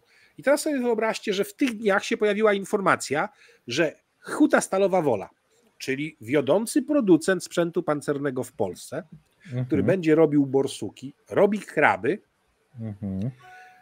i będzie jeszcze robił teraz wieże do rosomaków, te ZSSW-30, yy, ogłosił, że nawiązał współpracę z Rank USA, mhm. czyli amerykańskim, i w, w, temacie zarówno dostawy przekładni do produkowanych przez siebie sprzętów, jak i również kompletów Power Pack, czyli łącznie z silnikami. I tu od razu odpaliła się wyobraźnia tym, którzy siedzą w temacie, bo jednym z y, najbardziej typowych przykładów takiego Power Packa ze skrzynią biegów, przekładnią główną ręka, jest amerykański silnik Continental AVDS 1790 w różnych wersjach, który może mieć, w zależności od tego, jaki jest potrzebny jak mocny silnik jest potrzebny, do 1500 koni mechanicznych. No okej, okay, ale to mówisz, że rozpoczęła się współpraca. Tak, współpraca. ale to nie jest sprzedaż. Nie, nie, to nie jest sprzedaż. Mhm. Więc e, my mówimy, że lepiej byłoby kupić, ale nawet już to jest świetne. Czy ktoś tego używa na świecie, bo nie chciał być uzależniony od niemieckich silników MTU, które są, powiedziałbym, no mają dominującą pozycję w świecie, bo Koreańczycy też ich używają, my u siebie też. Mhm. Okazuje się, że jak najbardziej tak. Używają tego między innymi Izraelczycy w Merkawach i w innych ciężkich pojazdach, które u siebie robią. No okej, okay, no to... I, I ekonomia tego jest wystarczająco dobra. I skoro Izraelczycy nie chcieli być uzależnieni od Niemców, to widocznie jest to dobry kierunek również. Cała rodzina silników, gdybyśmy w tym zestawie zaczęli to pozyskiwać, to możemy to dać do produkowanych u nas czołgów, do, gdybyśmy jeszcze modernizowali to, do modernizowanych czołgów, dalej do bojowych wozów piechoty zamiast silnika MTU również, do wszystkiego, co teraz jest. Y, ostatnio był taki cały koncept pokazany różnych pojazdów gąsienicowych na platformie gąsienicowej tej UMPG, uniwersalnej modułowej platformie gąsienicowej, która taka w Polsce jest opracowana i można ją wykorzystać. I to by był zlikwidowanie jednego z największych wąskich gardeł w produkcji sprzętu wojskowego w chwili obecnej. No bo ja z tego co pamiętam, to my byliśmy mocno uzależnieni od jakiegoś niemieckiego silnika, czyli ten MTU, tak? MTU. E, my musimy wyprodukować 1300 wozów bojowych, kilkaset e, tych różnych czołgów, czołgów i tak dalej, i tak dalej. Kolejne nawiązanie. Czekaj, czekaj, czekaj. Czyli nawiązanie tej współpracy e, pozwala nam się wypiąć na Niemcy, ewentualnie gdyby nie dawali rady czasowo. Tak? Tak. Okej. Okay. E, czy w takim razie możemy kupić tę fabrykę sobie? Paweł, masz tyle kasy? Ten Może... zakład? Ja uważam, że jest to warte tego, żeby objąć nad nim kontrolę. Jak ojciec dyrektor mówi, że tak, to tak. Kupimy. Dobra. To musimy, musimy zrobić. Ale na to zrzutkę. ruszamy tylko z lewej kieszeni, bo z prawej te większe na inne rzeczy. Dobra, dobra. Eee, no okej. Okay. No to mamy tą hutę stalową wolę, która podpisuje tą umowę. Eee, w przestrzeni publicznej rozumiem, kręci się cały czas sprzedaż. A co jeżeli ktoś kupi tą fabrykę, to będzie nam rzucał kłody pod nogi? W chwili obecnej mamy na tyle dobre relacje ze Stanami Zjednoczonymi i taki zwrot w kierunku e, współpracy z ich przemysłem, co najmniej myślę, że będzie miał błogosławieństwo, więc tu jest kwestia, uważam, raczej dla nas szans pozytywnych. Jest taki pomysł, żeby patroni wspierający zrzucili się na tą fabrykę, więc. E, trzeba dopisać do, do Patronite'a, tak. tam 4000 robimy temat na pełną tą, 15 tak, robimy Polskę, a 12 miliony. Ale 12 miliardów. Mówię 4 miliony, więcej. Na tak. top czacie też można na to już zacząć się zrzucać. Nie? Tak, a więc tak. możecie już zacząć wpłacać. Tak, będziemy kupować. Tak, ale to nie jest jedyna taka informacja w ostatnim czasie. Ale to czekaj, czyli podsumowując, jest to bardzo duży sukces naszego przemysłu obronnego, żeśmy się e, zorientowali na czas przed produkcją i nie budzimy się z ręką w nocniku, tak? Źle. A, no to tłumacz. Tak dobrze by było, gdybyśmy byli e, nie zaprzepaścili kilku lat wcześniej, ponieważ miało być takie coś jak centrum e, silników dużej mocy i mieliśmy nawet możliwość u siebie produkować pewne rzeczy, ale tego nie dogadano do końca z tym MTU niemieckim. I to okay. jest strata kilku lat. A teraz okay. mamy tak, silniki Skani w Rosomakach, silniki MTU, które trafiły, są w Leopardach, są w Krabach, też mają być w Borsukach. Pewna alternatywa jest co do silników ze strony koreańskiej, bo oni i produkują u siebie na licencji silniki tego typu, ale również opracowali zarówno własny silnik, bo chcieli być niezależni, mieli też wąskie gardło z silnikami, jak i przekładnie swoje. Ale to jest dopiero alternatywa, bo one są na końcowym etapie wdrożeń. Ile lat się z silnikiem y, y, borykali Tur Turcy, bo Niemcy potrafili im zrobić y, pewne psikusy. Więc to jest naprawdę bardzo istotna kwestia. A silniki tego typu ciężkie, do maszyn y, budowlanych i innych, naprawdę one cały czas jest na to fajny rynek zbytu. A gdzie mieści się teraz ta fabryka, która produkuje te przekładnie? A żebym cię nie skłamał, główna siedziba ręka, zaraz ci powiem. Bo skoro myśmy PCH ręk, ręk GmbH, GmbH to Niemcy chyba, co? Tak, no powiedziałem niemiecko-amerykańska. Mhm. Czyli ta, ale ta fabryka ale na myślisz, Europę to się. Będą zainteresowani tym, żeby mimo wszystko pozwolić Polakom wejść? Ale to właścicielem jest fundusz inwestycyjny, w A. którym Niemcy akurat nie są dominujące, mhm. jeśli chodzi o kapitał. Okej. Okay. A to dlaczego to jest wystawione na sprzedaż, gdy fundusz, inwest, fundusz inwestycyjny wszedł, kiedy był problem. Zrobili restrukturyzację i podnieśli wartość. Kiedy oni to kupowali, kupili to poniżej jednego miliarda dolarów. Ale teraz zapowiada się Eldorado na najbliższe dwie dekady. To po co to sprzedawać? Nie zadawajmy im tego pytania, bo zmienią zdanie. nie no, pytam poważnie, no bo ja teraz nie widzę sensu sprzedawania takiej firmy. Po prostu po wojnie myślę, że to y, gdybym był funduszem, który ma taką firmę, y, która, jak mówisz, palce jednej ręki i szykują się wielkie inwestycje. Nie wiem, Paweł, masz jakieś doświadczenie w takich kwestiach? Nie, nie słychać cię, Pawle. Masz wyłączony mikrofon na tym. Nie, nie, na. Na, na pulpicie. Tak, tak. E, tu ktoś napisał, słuchaj, tak działają fundusze. E, Masz Okej. jak gdyby exit. Mają perspektywę wyjścia, dokładnie. Exit Nie, no tam sobie definiujesz, ile jest na exicie, masz Mhm. kwotę, Mhm. ktoś przyjdzie, zapłaci, to oni wychodzą. Okej. A Niemcy nie mogą tego kupić? Wtedy będą trzymały w szachach, e, w szachu wszystkich właściwie, nie? Nie wiem. Pewnie nie Niemcy mają, mają firmę ZF, Mhm. która robi takie rzeczy i jest no, o wiele szerszym, bo ona robi i dla pojazdów lądowych, i również ma technologie lotnicze. Czyli można powiedzieć, że w tym momencie będzie się rozgrywała taka gra o tron o tego rynka i kto to kupi, to naprawdę będzie na najbliższe dwie dekady trzymał wszystkich za jaja. Wszystkich nie, ale y, ładny, naprawdę ładny udział w rynku. Tylko Okej. myśmy się wystrzelali z takiej kasy, że nie sądzę, żebyśmy chwilowo mieli drobne. Natomiast jako inwestor, no tylko, że to my. Zanim pomyślimy, to już ktoś to weźmie. Ale jeszcze zrzutki nie było, więc poczekaj. No jeszcze zrzutki nie było, więc wszystko przed nami. Y, O, siatkówka 1-0 w grę z Brazylią Tak. prowadzimy, cieszyć się, cieszyć bardzo. 26, 24. Teraz tak, y, druga kwestia. Oprócz ręka. Właśnie dzisiaj zapowiadana w nocy przez jednego z naszych kolegów, który bardzo mocno lubi patrzeć władzy na ręce,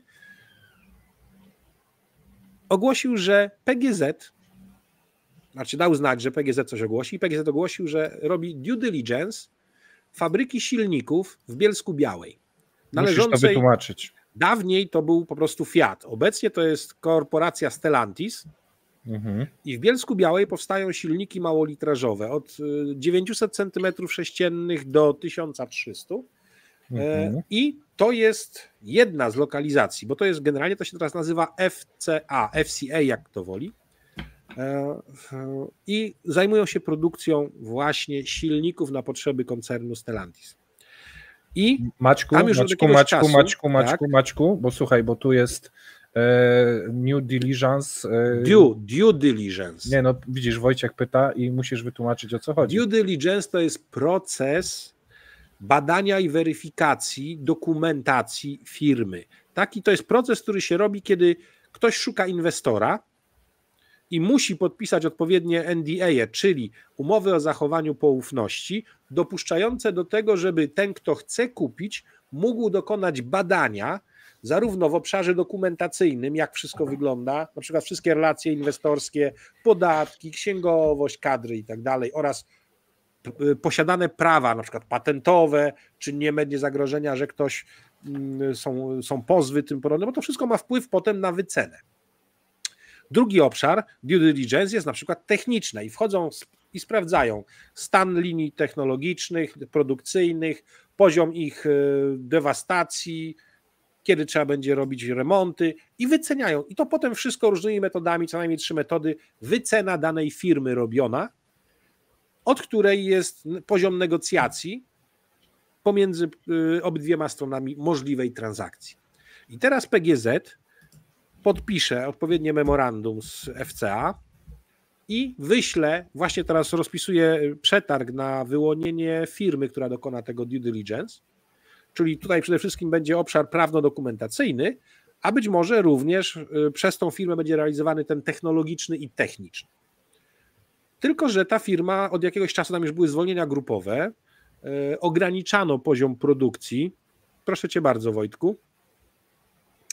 E, Poziom produkcji spadał, no i to są silniki małolitrażowe. Więc w dyskusji, jaką tam się wywiązała pod tym e, postem e, kolegi Szymona, sam zadałem pytanie, jaki to ma sens przy silnikach, których potrzebuje wojsko? To są wszystko wielkolitrażowe silniki, tak? Bo czy to do Jelcza silniki Iveco, no Iveco jest też gdzieś w tym wszystkim tam i Iveco jest na przykład wiodącym, głównym dostawcą silników do naszych Jelczy i nie tylko, to by mogło grać, no ale to nie ten kaliber silników. I ktoś powiedział słuszną rzecz, że tak naprawdę bardziej jest to kupienie ogólnego know-how, ale co? Kupienie wszystkich ludzi, inżynierów, biura projektowego, tudzież tam biura, które adaptuje na projekt na potrzeby produkcji i pracowników wykwalifikowanych w odpowiedniej ilości i części urządzeń, które są do tego do wykorzystania, oraz łącznie ta infrastruktura tych zakładów i nie tylko tych, bo może to być jeszcze w Tychach coś jest, jeszcze paru innych miejscach, że to jest skupienie czegoś takiego. De facto zorganizowanej części przedsiębiorstwa, którą można by było adaptować do produkcji na przykład innych silników. I teraz to by zaczynało mieć pewien sens, gdyby się okazało, że taki Continental wrzuciłby do produkcji silniki również już u nas, albo pełne centrum, gdzie można robić pełny, pełną odbudowę tego typu silników w ramach serwisu. A do tego wszystkiego, skoro używamy tak dużo silników, no bo to są rzetelne silniki Iveco, to można by je było też produkować na przykład tam na bazie tego wszystkiego, a wykwalifikowana kadra, co jest teraz problemem, jest na miejscu. Więc z tego punktu widzenia mogłoby to nie Odpowiedź być głupie. na nowy ład. Być może, nie wiem. Okej. Okay. Więc do, tak to wygląda. I docelowo uważasz, że yy, będzie to korzystne w sensie, bo teraz alternatywą nie znam, jest nie co? Znam zamysłu. W sensie, w sensie alternatywą do tych yy, na te silniki, yy, wiesz, duże, E, skąd my je sprowadzamy w tym momencie? Silniki Iveco jest przedstawiciel na Polskę, firma Tezana, ściągamy je na przykład w ten sposób, w różnych, mhm. E, w różnych parametrach. Silniki MTU, no to też płacimy bardzo drogo, bo to są Rolls-Royce'y, a Rolls-Royce jest właścicielem MTU, żeby było jasne. Również mhm. dajemy je na nasze modernizowane okręty wojenne. I to nie mhm. są tanie rzeczy, ale zastępujemy y, no, gorsze w parametrach silniki y, rosyjskie jeszcze, radzieckiej proweniencji, a mhm. te silniki MTU, no między innymi ich zaletą jest znacznie większa ekonomia eksploatacyjna. Y, silniki Rolls-Royce'a są też montowane w chyba Boeingach, nie? Tak, tak mi się wydaje, więc okej. Okay. okay. I teraz, jeżeli byśmy sobie zapewnili w tej części Europy zdolność produkcji silników, które mogłyby być używane jako zastępniki rosyjskich czy jeszcze radzieckich konstrukcji w różnych pojazdach, to nie jest głupie. Mamy tego trochę jeszcze u siebie. Możemy wykonywać usługi tego typu, remotoryzacji takich rzeczy na potrzeby innych. Why not? Sami mamy duże potrzeby, jeśli chodzi o produkcję. Musimy też wyprodukować silniki na zapas. Musimy wyprodukować też części zamienne na zapas w zestawach y, remontowych. Jak najbardziej. Obecnie na przykład Volvo ogranicza w Polsce produkcję, bo robili autobusy, do nich przychodziły ciężkie silniki, to ograniczają. Skania w Polsce, tak jak Wojtek napisał, coś produkuje, ale w większości to jest sprowadzane. I też yy, myślałem, tu mnie Piotrek z Bies poprawił, myślałem, że na przykład bloki silników do ciężkich pojazdów robi się z aluminium, ale się okazało, że jednak nie a odlewnie, które tego typu rzeczy robią na potrzeby takich spraw, w Polsce na szczęście są. Więc jesteśmy w stanie stać się alternatywą dla niemieckiej dominacji w zakresie tego typu silników w Europie. Wiecie co, ja, ja, nie obserwuję tego tak na co dzień, ale z tych informacji, które gdzieś tam wyłapuję na przestrzeni, no nie wiem, ostatniego półtora roku, Mam takie wrażenie, że e, bardzo dużo się dzieje w konsolidacji tego naszego przemysłu zbrojnego i ściąganiu bardzo wielu różnych producentów do Polski i zwiększaniu gdzieś tu e, serwisowych możliwości, produkcyjnych możliwości. Tak jakbyśmy chcieli, bo Niemcy dały ciała, e, zaorały mocno sobie ten przemysł i tak jakbyśmy chcieli wskoczyć w ich buty i teraz jest taka gonitwa, czy my damy radę zbudować od zera coś mocniej, czy oni się odbudować? To dobrze patrzę na to, czy, czy jest to temat taki bardziej skomplikowany? Zacznę od tego, że Tomkowi odpowiem. Tomku, Korea robi silniki, licencyjnie produkuje MTU, a teraz opracowuje jeszcze własne, również przekładnie. I teraz tak, stać się tą alternatywą, która będzie miała większe zdolności produkcyjne niż Niemcy, jest teraz moim zdaniem taka możliwość. Ale to się dzieje, ale to się w tym momencie dzieje, tak? Bo tak widzę różne te sygnały. Te ruchy, takie... o których mówimy, mhm. mogą na to wskazywać. Mhm. Tylko, że nam nikt nie przedstawił planów. Na przykład prezes PGZ-u nie wyszedł, nie powiedział. Doszliśmy do wniosku, do punktu, w którym wiemy, że przy takich, takich, takich zamówieniach, jeżeli uda nam się obniżyć koszty poprzez to, że będziemy mieli silniki własne, ma to dla nas uzasadnienie, bo możemy mieć. Ale Maćku, do mnie, do mnie też prezes PG, PGZ-u nie dzwoni i nie informuje o swoich planach. Ale mogą robić co jakiś czas y, konferencje prasowe, dbając o to, żeby była właściwa komunikacja. Przypomnę też, że polski przemysł zbrojeniowy od jakiegoś czasu mocno jest obserwowany przez inwestorów zagranicznych, którzy chcieliby się tutaj pojawić. Ja znam takowych szwajcarskich na przykład, którzy obserwują i bez tej komunikacji właściwej, no a powiem, to co wiem na pewno, niektóre duże firmy polskiego przemysłu zbrojeniowego mają kłopot z pozyskaniem w polskich bankach odpowiednio dużego finansowania i w tym momencie potrzebne są konsorcja dofinansowania wielobankowe. To już zawsze oznacza, że trzeba trafić, w że w tym wszystkim będzie bank, który ma siedzibę główną, szefostwo za granicą. Więc i tak będą musieli zdejmować majtki przed zagranicznym y, bankiem chociażby. Więc skoro są inwestorzy, którzy chcieliby wejść z pieniędzmi, e, to muszą dbać o właściwą komunikację, przynajmniej właściwych planów, które sensownie wyglądają w harmonogramie przedstawionym na osi czasu, kamienie milowe i tym podobne. Typowe prowadzenie projektu. Ja może dam ci odpocząć, bo już masz zdarte gardło. To może profesor nam coś powie na temat e, tego, jak działa komunikacja ogólnie przedsiębiorstw państwowych e, i, innych e, sytuacji w Polsce, no bo chyba historia pokazuje, że to jest, no nie, nie jest nasz konik, że jednak taki bardak informacyjny to jest to, co my potrafimy robić. Nie ma bardaku. Przede wszystkim no, jest to kwestia tego, że my traktujemy informacje, właściwie wszystkie informacje, jako absolutne tajemnice.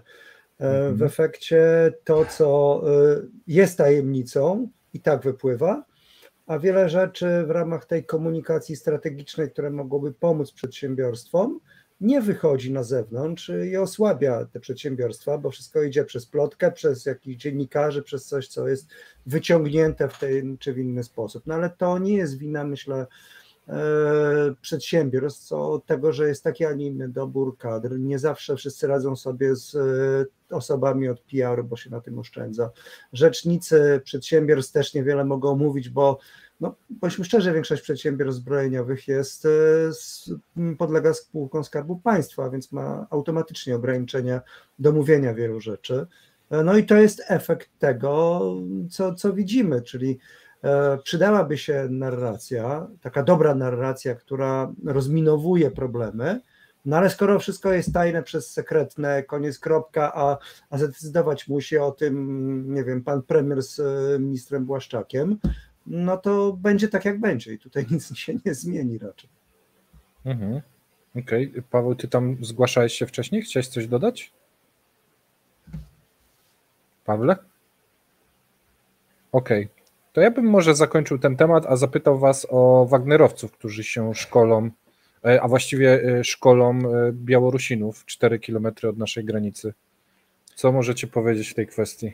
jak dla mnie, wybitnie tani sposób na to, żeby podnosić poziom nerwów po polskiej stronie i wymuszać tak wysyłanie sił, które będą monitorowały to wszystko i pilnowały granicy. Plus nastawiały się na wszelkie możliwe prowokacje, ponieważ e, żołnierz ma inną strukturę zachowania, policjanci mają inną strukturę i zasady zachowania i kody zachowania, Straż Graniczna ma inne kody zachowania i Rosjanie będą i Białorusini będą nas tak cupać, E, plus, e, no, tak naprawdę pamiętajmy o jednym. No, media kochają show, a Wagnerowcy dają im te show. Dopóki mhm. te show Wagnerowcy dają, to nasze media w ten czy w inny sposób cały czas e, będą tutaj przyjmować to. Wagnerowcy y, ten PR potrafią. E, samo to przesyłanie tych kolumn cały czas, które tam jeżdżą w tą i z powrotem i do końca nie wiadomo, co tam jest, dlaczego tam jest. Potem te tajne wypowiedzi mm, Prigorzyna, kiedy prawda, ta kamera jest w jakichś ciemnościach i słychać jego, jak tam mówi, jak on tam zrobi. No dobra, jeżeli ta białoruska będzie drugą armią, oni Pod są pierwszą. No, okej, okay, dobra, Białorusini będą drugą, e, Wagnerowcy są pierwszą, NATO jest też całkiem niezłe, to nie wiem, gdzie jest ta armia rosyjska, no ale to już, e, to już problem Prigorzyna.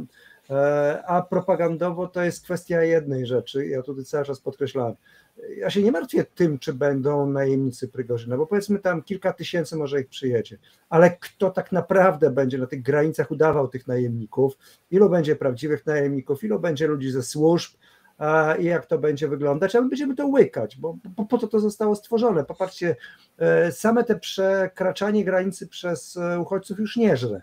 E, a rozpracowywano nas, jak reagujemy na granicę. Na granicę reagujemy dobrze, skutecznie, momentalnie podbita jest ta poprzeczka, pokazujemy swoją siłę, więc znowu przerywamy działania różnych jednostek wojskowych, rzucamy je tam, robimy ten Mm, ten pokaz siły, tylko po drugiej stronie ten pokaz siły może być po prostu idealnym narzędziem do tego, aby ściągać jeszcze więcej danych, w tym danych telefonów komórkowych i wielu innych e, rzeczy. Niestety, bo, bo, bo tak naprawdę to po to ten cały ruch jest robiony.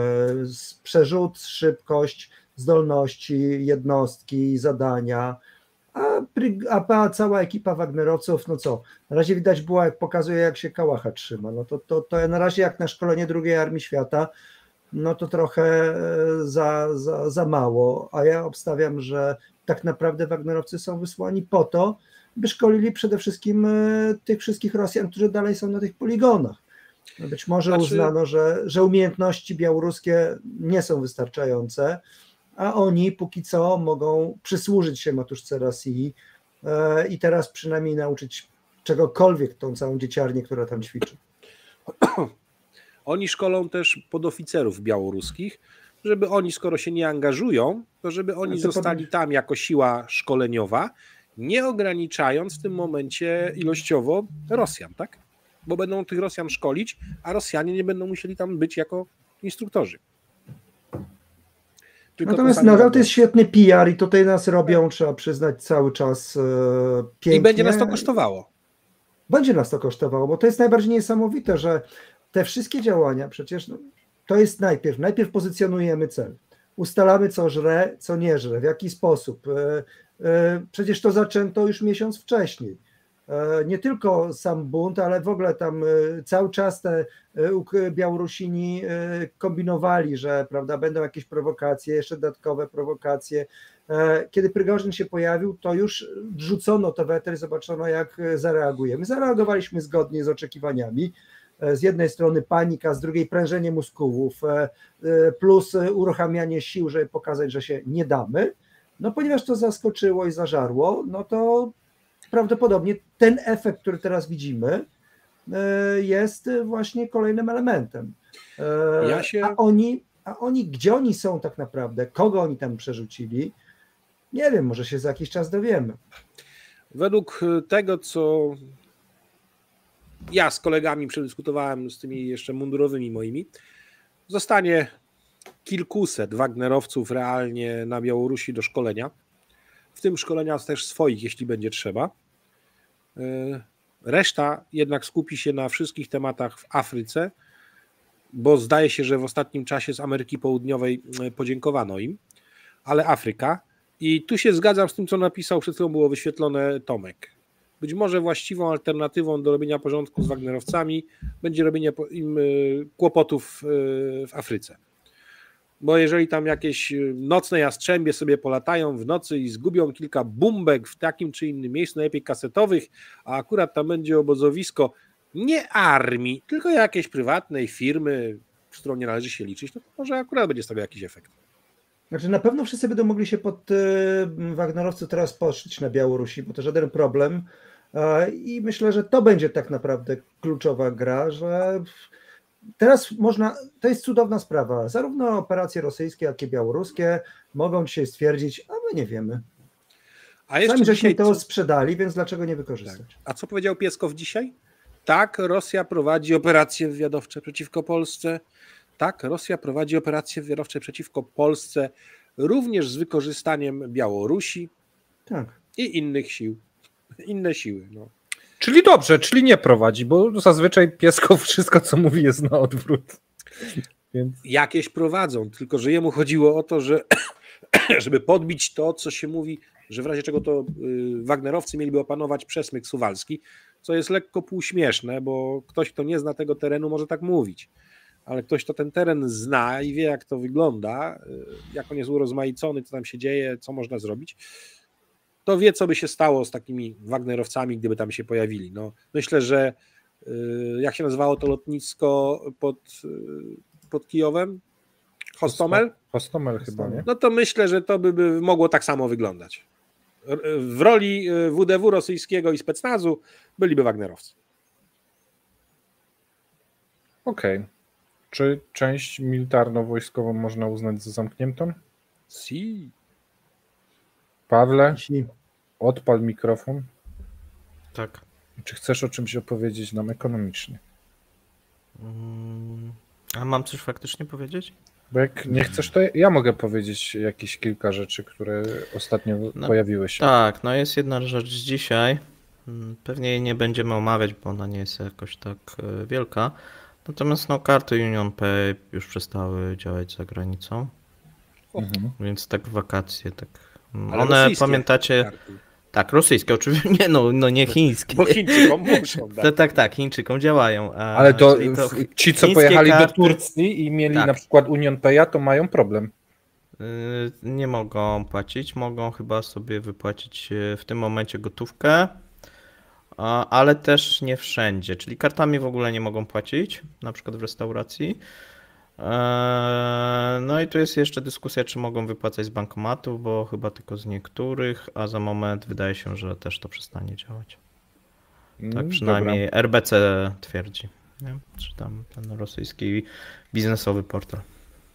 E, to słuchajcie, to, to ja może, może powrzucamy po prostu kilka takich informacji ekonomicznych, których nie pisaliśmy, później może opowiem coś e, mhm. o tym, o czym będzie jutro artykuł.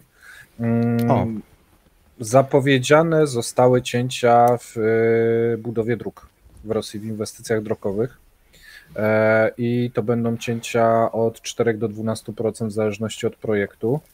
E, wygadano się również w artykule tym, że mm, pierwszy kwartał tego roku to było nakręcanie gospodarki poprzez inwestycje publiczne E, i był to wzrost rok do roku o 13%, więc po prostu pompowanie PKB e, z budżetu państwa i inwestycje, ale muszą to przycinać w przyszłym roku, bo dostali czkawki. I taki wzrost inwestycji i takie ilości inwestycji nie były nigdy spotykane w tych 30 latach prowadzenia takich statystyk.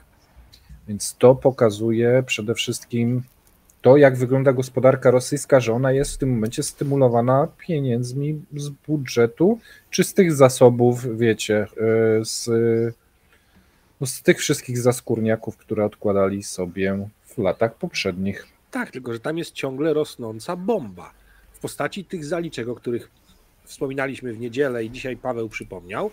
Jak idą te zaliczki, jednocześnie opóźniona jest ściągalność podatków, no to się robi ta dziura w środku i ten przepływ w tym momencie, jak dostajesz te zaliczki, a już ciebie cisną, żebyś ty zapłacił zaległe podatki, albo ci od razu ściągną samodzielnie przez system, to to, co dostałeś jako zaliczka, od razu ci już kawałek zabiorą. No tak jak wszędzie, jak firmy mają problemy, to najczęściej z płynnością. Teraz budżet rosyjski ma problemy nie nawet z tym wynikiem końcowym, bo on może będzie jeszcze się mieścił, albo będą robić wszystko, żeby się udawało, że się zmieści, tylko z cashflowem, tak. No bo ja teraz wiesz, to że... trochę tak, tak napędza, wiesz, bo oni mają te opóźnienia. E, a i to się zaczyna, wiesz, też kolejkować, tak? No bo wiesz, masz opóźnienia, a wojsko ma następne, nie? I nie dostarczyłeś jeszcze tego towaru, a już masz następne zlecenia, tak? I to się robi taka. To, jaki jest przemysł cywilny, to jest ok, ale jak prowadzisz wojnę i potrzebujesz coś, no to zaczyna być problem, tak? Tak. E, Wiecie, Mhm. W takich tematach ekonomicznych mnie dzisiaj rozśmieszyła jedna rzecz ze strony rosyjskiej. Jak oni postawili no, te warunki dotyczące powrotu do umowy zbożowej, to powiedzieli, żeby przyłączyć do SWIFT-u firmy, które realizują ten eksport. Tylko jedno pytanie. Przecież tu chodzi o zboże ukraińskie. To po co podłączać do SWIFT-u firmy rosyjskie? Coś mi tutaj nie zagrało. No wiesz, no Rosja. Nie, nie bo celem jak gdyby no ja będę o tym może mówił w sobotę, jak yy, będzie czas. E, cel jest trochę inny niż to, co nam się sprzedaje, ale to jest na osobny jak gdyby live.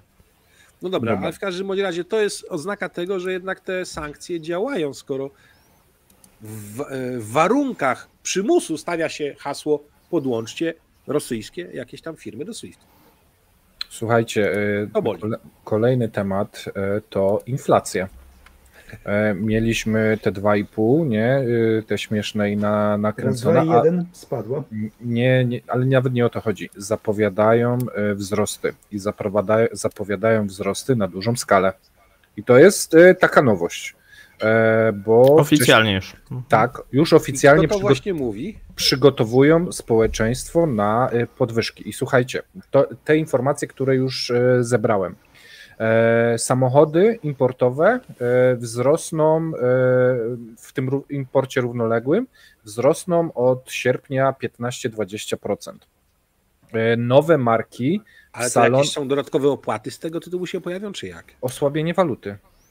Nie, no rubel spadł. Czyli tylko to, dobra, tak, tylko, tylko okay, dewaluacja. Tak.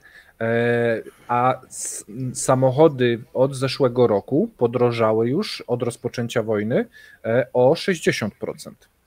Soki i napoje gazowe od 1 sierpnia e, idą w górę 10-20%, już zapowiadają najwięksi producenci.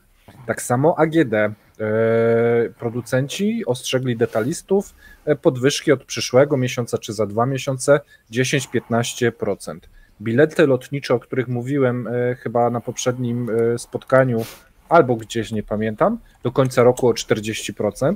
No bo wiadomo, mniej lata, trzeba to jakoś zbilansować, opłacić i tak dalej, mają problemy z e, serwisami. Mm, I jako, że mamy temat wakacji, no to wakacje w Turcji od 20 do 70% w górę. Więc i to są oficjalne czyli te optymistyczne prognozy, już przygotowuje się narrację na to, że uwaga, będzie drożej i będzie drożało. I co o tym sądzicie? Bo jeżeli już ostrzegają dwucyfrowe podwyżki, no to to będzie wesoło, moim zdaniem. No mnie to nie zaskakuje absolutnie, bo wszyscy wiemy, że lekką ręką szacować należało na 25% tą inflację okay. nie mniej niż, tak? Tak. Y, ten realny poziom. Y, dwa, dewaluacja dodatkowo robi swoje, a dzisiaj mówimy o jednym rublu dziennie, jeżeli chodzi o osłabianie się do euro, nie? Ja nie wiem, jak wyglądało dzisiaj. Paweł oglądał chyba dzisiaj. Tak, nie, dzisiaj było odwrotnie. Dzisiaj rano było mm, plus Aprecjacja? jeden. Tak, a potem mamy. Czyli jakaś tutaj... interwencja, czy atak na pułap cenowy zaczął się pozytywnie? Yy, wiesz co, wydaje się, że to hmm, trudno jak gdyby stwierdzić, bo już na po pierwsze, wydaje się, że to nie jest do końca interwencja. Bo na wejściu już jak gdyby spadło, bo wczoraj to ładnie tam y, rosło zarówno yuan, jak i euro, już tam było 103, teraz spadło do 100, tak, i mieliśmy jak gdyby, jak gdyby zjazd. Ja tego nie analizowałem, szczerze powiedziawszy, dzisiaj. Ja wrzucam będę, tutaj jeżeli... od Tomasza wpis, bo zaraz będę komentował i opowiem, jak, e, jak nie widać. Zaraz przejdziemy do poczty rosyjskiej. Kontynuuj, Pawle. A, a to jutro poczta ma być. Ale ja dzisiaj opowiem, jak nie widać. A nie? już wszystko powiesz? No to nie przeczytam, nie, to nie wiem. Nie, nie, spokojnie. Tylko tak. tak. Y, a z takich ciekawostek, słuchajcie, mamy informacje na temat te moje ulubione, czyli, bo ja zawsze uważam, że jak gdyby jak gospodarka się ma, pokazują obroty handlowe. No i obroty handlowe między Japonią a Rosją spadły o 42% styczeń-czerwiec. Czyli nie tylko Unia Europejska mamy spadki, no ale na przykład Japonia, a Japonia dosyć ważnym była tutaj partnerem, szczególnie Dużo właśnie tym technologicznym. Nie, nie tylko. Współ, no, współpraca bardzo, na Sachalinie w wydobyciu Ta. gazu i technologię. Mhm. I oni wprowadzili, bo najpierw weszli, że y, embargo i tak dalej, ale potem włączyli opcję wyjątek do tej opcji na Sachalinie. No ale teraz była śmieszna rzecz. Mieli sprzedać wyposażenie specjalistyczne, super, hiper topowe, medyczne, roboty i inne wyposażenie do, specjal... tak. do tej kliniki, która y, zajmuje się obsługą Kremla. Znaczy do tej córki Putina, tak. Tak, do córki Putina. No, no i zdaje się, że coś nie, nieodpowiedniego Nie powiedzieli pykło. Rosjanie tego dnia. No i Nie nie pykło. nic nie dostaną. I nie będzie leczenia Tak, tak, na tak naprawdę to w sprzęcie. tym momencie jedynie to zboże Japończycy kupują, tam mamy wzrost, natomiast no wszystko, no wszystko spada. I zarówno import, y, import mamy do Rosji spadł o 53%, y, tak, więc no, no ogólnie no, no wygląda to dosyć, dosyć słabo. E, Cała ta wymiana, tak jak mówię, 41%. y, No nie wiem, co to. No, w zeszłym roku jeszcze, wie- wiecie co, ratowało tą wymianę to, że Rosjanie bardzo dużo sprowadzali tych używanych y, japońskich tych samochodów, nie? A teraz chyba zablokowali im do pewnego poziomu cylin- pojemności cylindrów, tak? Potem Teraz zaczęło się blokada. tam problemy z tym i tak naprawdę już widzimy, że ogólnie mm, Chiny, a więc tak, te korporacje taksówkowe przedstawiają się na samochody chińskie i zarówno nowe, jak i używane, mm, bo tam jest otwarte. No a Chińczycy się trochę też cieszą, bo mogą tam jak gdyby mamy na przykład y, samochody, które potrafią być o 50% droższe niż w Chinach. Tam ci pośrednicy zarabiają jakieś y, holendarne ten. y, Dzisiaj mi z kolei Marże. jeden z moich y, twitterowiczów, że w ostatnim czasie Litwa zrobiła chyba Mhm. obroty coś ponad 200 milionów euro na luksusowych samochodach w imporcie równoległym. w O, eksporcie co, no ale to jest 200 milionów? To, to. No, ale to jest tylko w tym roku. Więc ja mówię, prawdę mówiąc, ja nie mam nic przeciwko temu. Jeżeli przepłacają Ruscy o tyle, a potem przepłacą drugi raz jeszcze, no bo te nowoczesne samochody no, psują się jakby częściej niż te kiedyśniejsze. Tak, pytanie jest, wiesz, następne, bo y, właśnie z tym jest problem. Bo ja też pisałem kiedyś taki artykuł na temat właśnie tych części. Y, No i jeżeli w przypadku tych takich popularnych marek, nie wiem, tak, nie chcę ich wymieniać, y, no to jeszcze w tej Rosji jakoś jesteś w stanie, no to w przypadku na przykład takich bardzo, bardzo luksusowych, y, no to masz problem teraz. No bo nie ma, wiesz, wcześniej miałeś po prostu serwis producenta, tak? No szedłeś do salonu, mówiłeś, panie, zepsuł się, do serwisu zaprowadzałeś i oni to naprawiali, a teraz e, no problem jest. Dobra. Nawet To- jak jesteś bogaty. No trochę taki. To Więc ja tu mnie to, że Litwini na tym zarabiają, odpowiem- akurat nie martwi. Ja tu tylko odpowiem Borosowi chyba, bo była zagadka na naszym live wtorkowym. Pod tym live'em jest odpowiedź. Ktoś zgadł, więc jeżeli y, poszukujesz, to y, znajdź sobie tam w opisie. Mm, A wracając do y, tego, że nie widać jak Rosja upada. Wiecie, kto jest największym pracodawcą w Rosji obecnie? Ile za, kto najwięcej zatrudnia osób? Gra No ja wiem, bo mi powiedziałeś. Tak.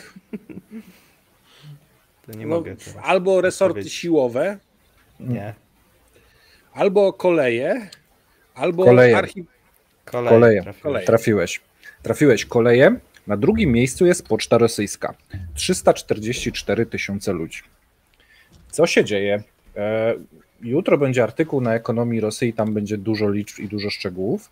No mają problemy finansowe. Mają e, tak duże problemy finansowe, że nie są w stanie obsługiwać swojego długu.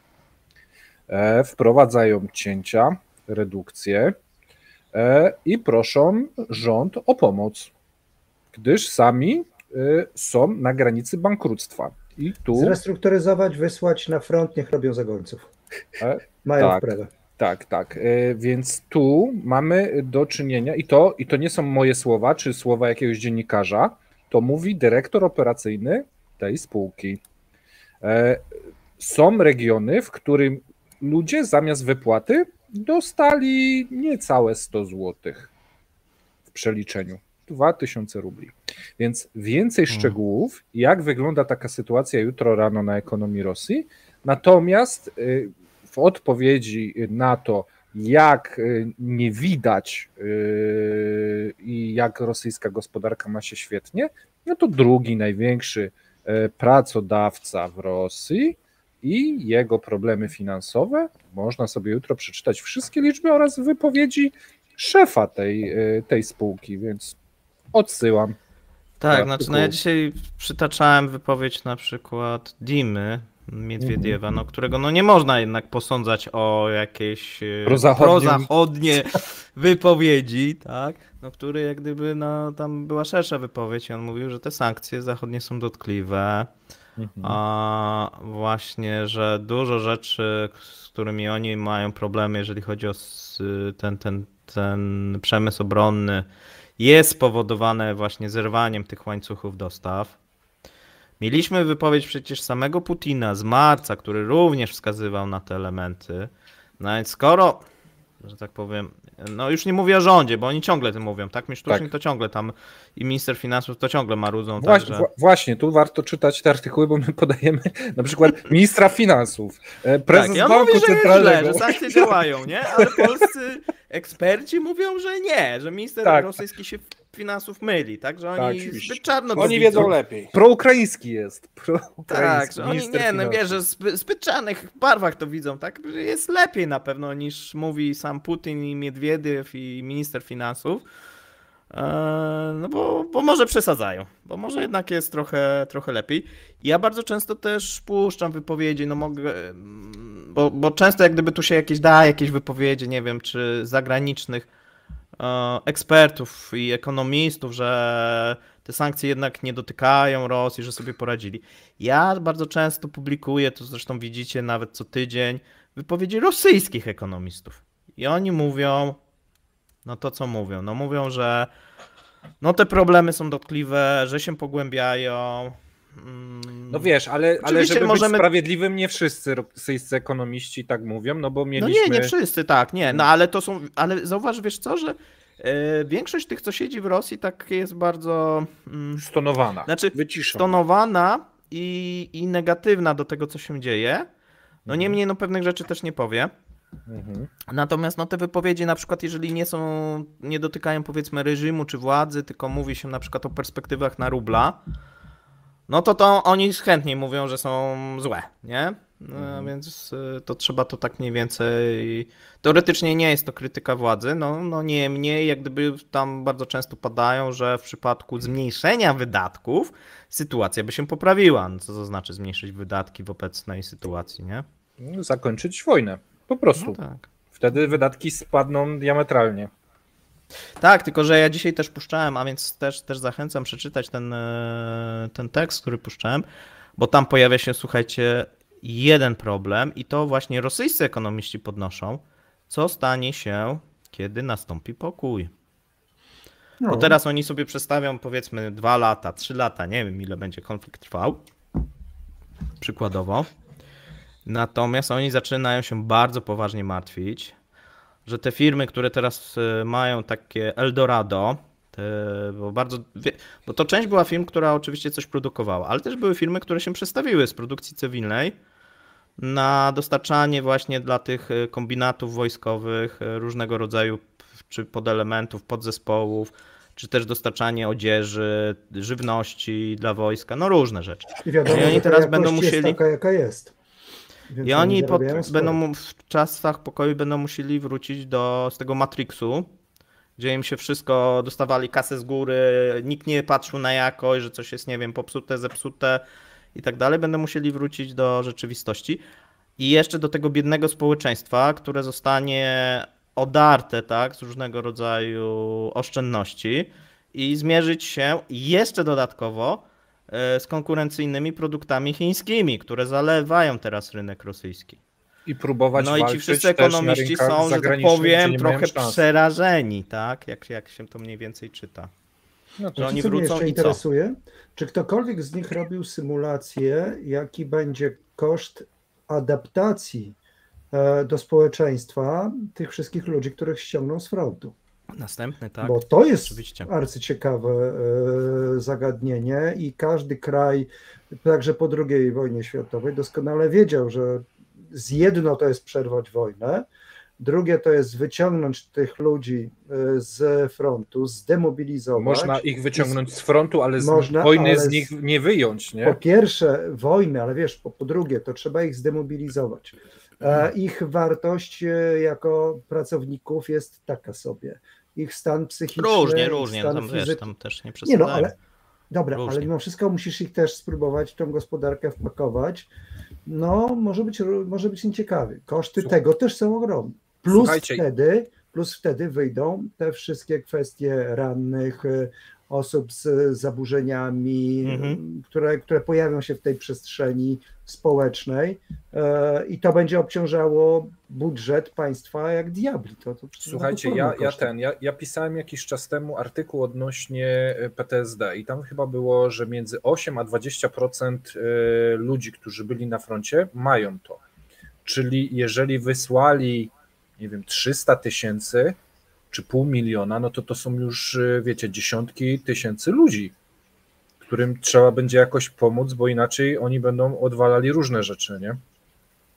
Myślę, że więcej ich będzie, bo jednak e, to, jest, to są ludzie, którzy kompletnie nie byli przygotowani do, do jakichkolwiek działań. Tak, tak, bo w sumie to nie było takiego pełnego przeszkolenia, Tak, wiecie, To, te, takie straty wśród e, osób, które, zajm, które prawda, idą do wojska, służą, m, przechodzą jakieś szkolenia i tak dalej, a masa tych ludzi została rzucona po prostu w piekło, którego w ogóle obstawiam, że gdyby mm, tą samą intensywność miały działania dla Amerykanów, to, to, to ilość PTSD nawet wśród ich żołnierzy byłaby już znacznie wyższa niż to, co, co, co, co się szacowało przy standardowych działaniach typu Irak, Afganistan i parę innych miejsc. A powiedzcie mi, czy ta wojna jest inna, bo wiecie, PTSD pewnie badali, nie wiem, Irak, e, gdzieś tam No jakiś innych nie było, no Afganistan i tak dalej, ale te, ten rodzaj wojny wydaje mi się dużo bardziej brutalny, dużo bardziej intensywny. E, Ten ostrzał artyleryjski, wiecie, te, te takie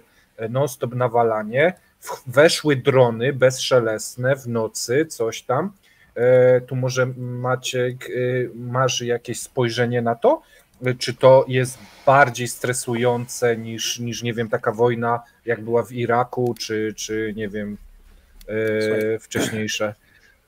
Czym jest najłatwiej zmęczyć i osiągnąć punkt y, paniczny u żołnierza? Długotrwałym niewyspaniem. Jeżeli się boisz w nocy ruszyć, jest ci zimno, boisz się, boisz się ogrzać przy czymś, bo cię zdronują, coś ci Mhm. spadnie na głowę, Okej. nie śpisz, y, ostrzał, ataki nocne, bo dominują nocne ataki w wykonaniu Ukraińców. Ale kiedyś mają nie było tak? Też było, nie? Tylko intensywność? Intensywność w nocy intensywność zawsze spadała. To jest mniej więcej, gdyby porównywać, gdyby spróbować zrobić coś, e, co by pasowało do tego, co mamy teraz, a nie, a nie iść w kierunku II wojny światowej, no to jest mniej więcej sytuacja e, chłopaków e, rzuconych w mm, Wietnam, gdzie prawda, nocami Wietkong podłaził i mm, podrzynał gardło Mhm. i tak dalej. To jest mniej więcej znaczy to jest taki początek stresu, choć i tak tam nie było, bo ta druga strona nie, nie miała takiej siły z kolei ognia artyleryjskiego, plus paru innych rzeczy, ale rzeczywiście ten, ta skala, gdyby zaczynać tą skalę i, i, i sterować tą skalą, to myślę, że takim punktem wyjścia dla współczesności byłby Wietnam jako ten powiedzmy wzorzec podstawowy, bo zaczęto potem mm, już mówić o PTSD i spróbować e, na, nawiązywać do tego, no bo doświadczeń II wojny, skoro nie robiono tego, aż takich, e, aż takich nie ma. A mimo wszystko część tych ludzi, nawet jeśli to były warunki rosyjskie, to ci ludzie jednak żyli w zupełnie innym e, systemie i nie byli przygotowani na to. Mhm. Nie wszyscy byli jakimiś myśliwymi czy, czy, czy, czy. No i teraz taki stały, stresujący nacisk sytuacji zewnętrznej.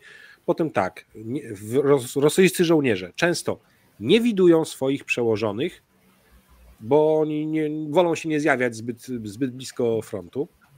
E, Mają kłopoty z zaopatrzeniem, często Czują się pozostawieni sami sami sobie. Do tego nocne zagrożenie, bo po nocach y, ten, jak to się mówi, fajnie tak było. Priwiet, my z Ukrainy, plus dronowanie w dzień i w nocy, to musi mieć y, oddziaływanie na psychikę człowieka. Okej. okej. No to rzeczywiście Czy ekonomicznie. Ukraińcy będą mieli to samo, żeby było jasne? Tak. E, Stan ukraińskich e, żołnierzy, jakich się odwoła z frontu, będzie tak samo katastrofalny w wielu miejscach, jak stan rosyjskich, mimo e, większego morale i tak dalej. To, to, to jest tak, no wojnę zaczęli w cudzysłowie zawodowcy. Teraz robi się to tymi, których się ten czy w inny sposób zmobilizowało. A ich nigdy nie przygotowywano do takiego szkolenia y, ze stresu, bo nie było kiedy. A ja powiem jeszcze jedną rzecz. Y, skoro w Stanach po II wojnie światowej znaczna część żołnierzy zasiliła struktury zorganizowanej przestępczości, zwłaszcza ci o korzeniach irlandzkich, o korzeniach włoskich, to teraz sobie pomyślmy, jak to będzie, skoro w Rosji po wojnie afgańskiej również wielu weteranów zasiliło struktury zorganizowanej przestępczości i co będzie w obu, w obu krajach teraz. Wielu z tych ludzi niestety właśnie tam pójdzie, w tamtą stronę i każdy z tych krajów, uczestników tej wojny, tych dwóch krajów, będzie miał z tym większy problem wiele lat po zakończeniu tego konfliktu. Ale już widzimy, wiesz? Tak, już widzimy. Zresztą mówiłem, że y, ten wzrost przestępczości widzimy, wzrost tych fortun, mm, które się tworzą. No i te osoby, które wrócą, szczególnie w Rosji, szczególnie w Rosji, w Ukrainie pewnie też, ale w Rosji szczególnie będą zasilać te mm, powiedzmy biznesowe formacje mafijne, nie wiem jak ich nazwać, tak, które tym momencie e, w tym momencie zajmują się handlem nielegalnym alkoholem, sprowadzaniem e, podróbek do Rosji czy jakichś innych. Widzę, że Mateusz tutaj już odpłynął. Jest chwalony, no co? No, okay. Dobra, macie jeszcze panowie coś do omówienia? Bo jak nie, to zawijamy temat. 2.15. Tak Myślę, że sympatycznie. Tak. Może zobaczymy jeszcze końcówkę meczu naszych siatkarzy. Albo porozmawiamy o sobocie na, w tym, na ofie. Tak. No. Ale go wyłączymy. Tak. Mam wyłączyć. To wyłączam. To się żegnamy. Moi drodzy, dobrej jeśli nocy. więc tak, to życzymy dobrej nocy w imieniu, wymieniając po kolei profesora Daniela Boćkowskiego, Mateusza Lecha, Maćka Kapitana Lisowskiego i Pawła Jerzowskiego, który trzyma rączkę na przycisku. Jeśli tak się jest. podobało, zachęcamy do lajkowania, komentowania, subskrybowania naszych kanałów, śledzenia mediów społecznościowych, naszych kanałów i profili na wszystkich naszych social mediach, na Twitterach, Facebookach, etc. Przypominamy o tym, że jest blog Ekonomia Rosji, można tam przeczytać fajne rzeczy. I zarówno kanał Kapitan Lisowski, jak i Kremlinka Show polecają się uwadze, pamięci i, jeżeli chcecie, również wsparciu naszych kanałów w każdy opisany na naszych kanałach sposób, a nikt z nas nie gardzi sympatyczną wirtualną kawką. Podziękował. Miłego wieczoru. Dziękuję. Do I, usłyszenia. I, do a, czekajcie, czekajcie, czekajcie. No, no, no. I Proszę do zobaczenia z tymi, którzy będą w sobotę. Będą w sobotę. Tak. Będzie okazja się poznać. Mam kliknąć. Tu piszą, że tak już kliknąć. Teraz klikasz. To klikam. Cześć. Hej. Czołem.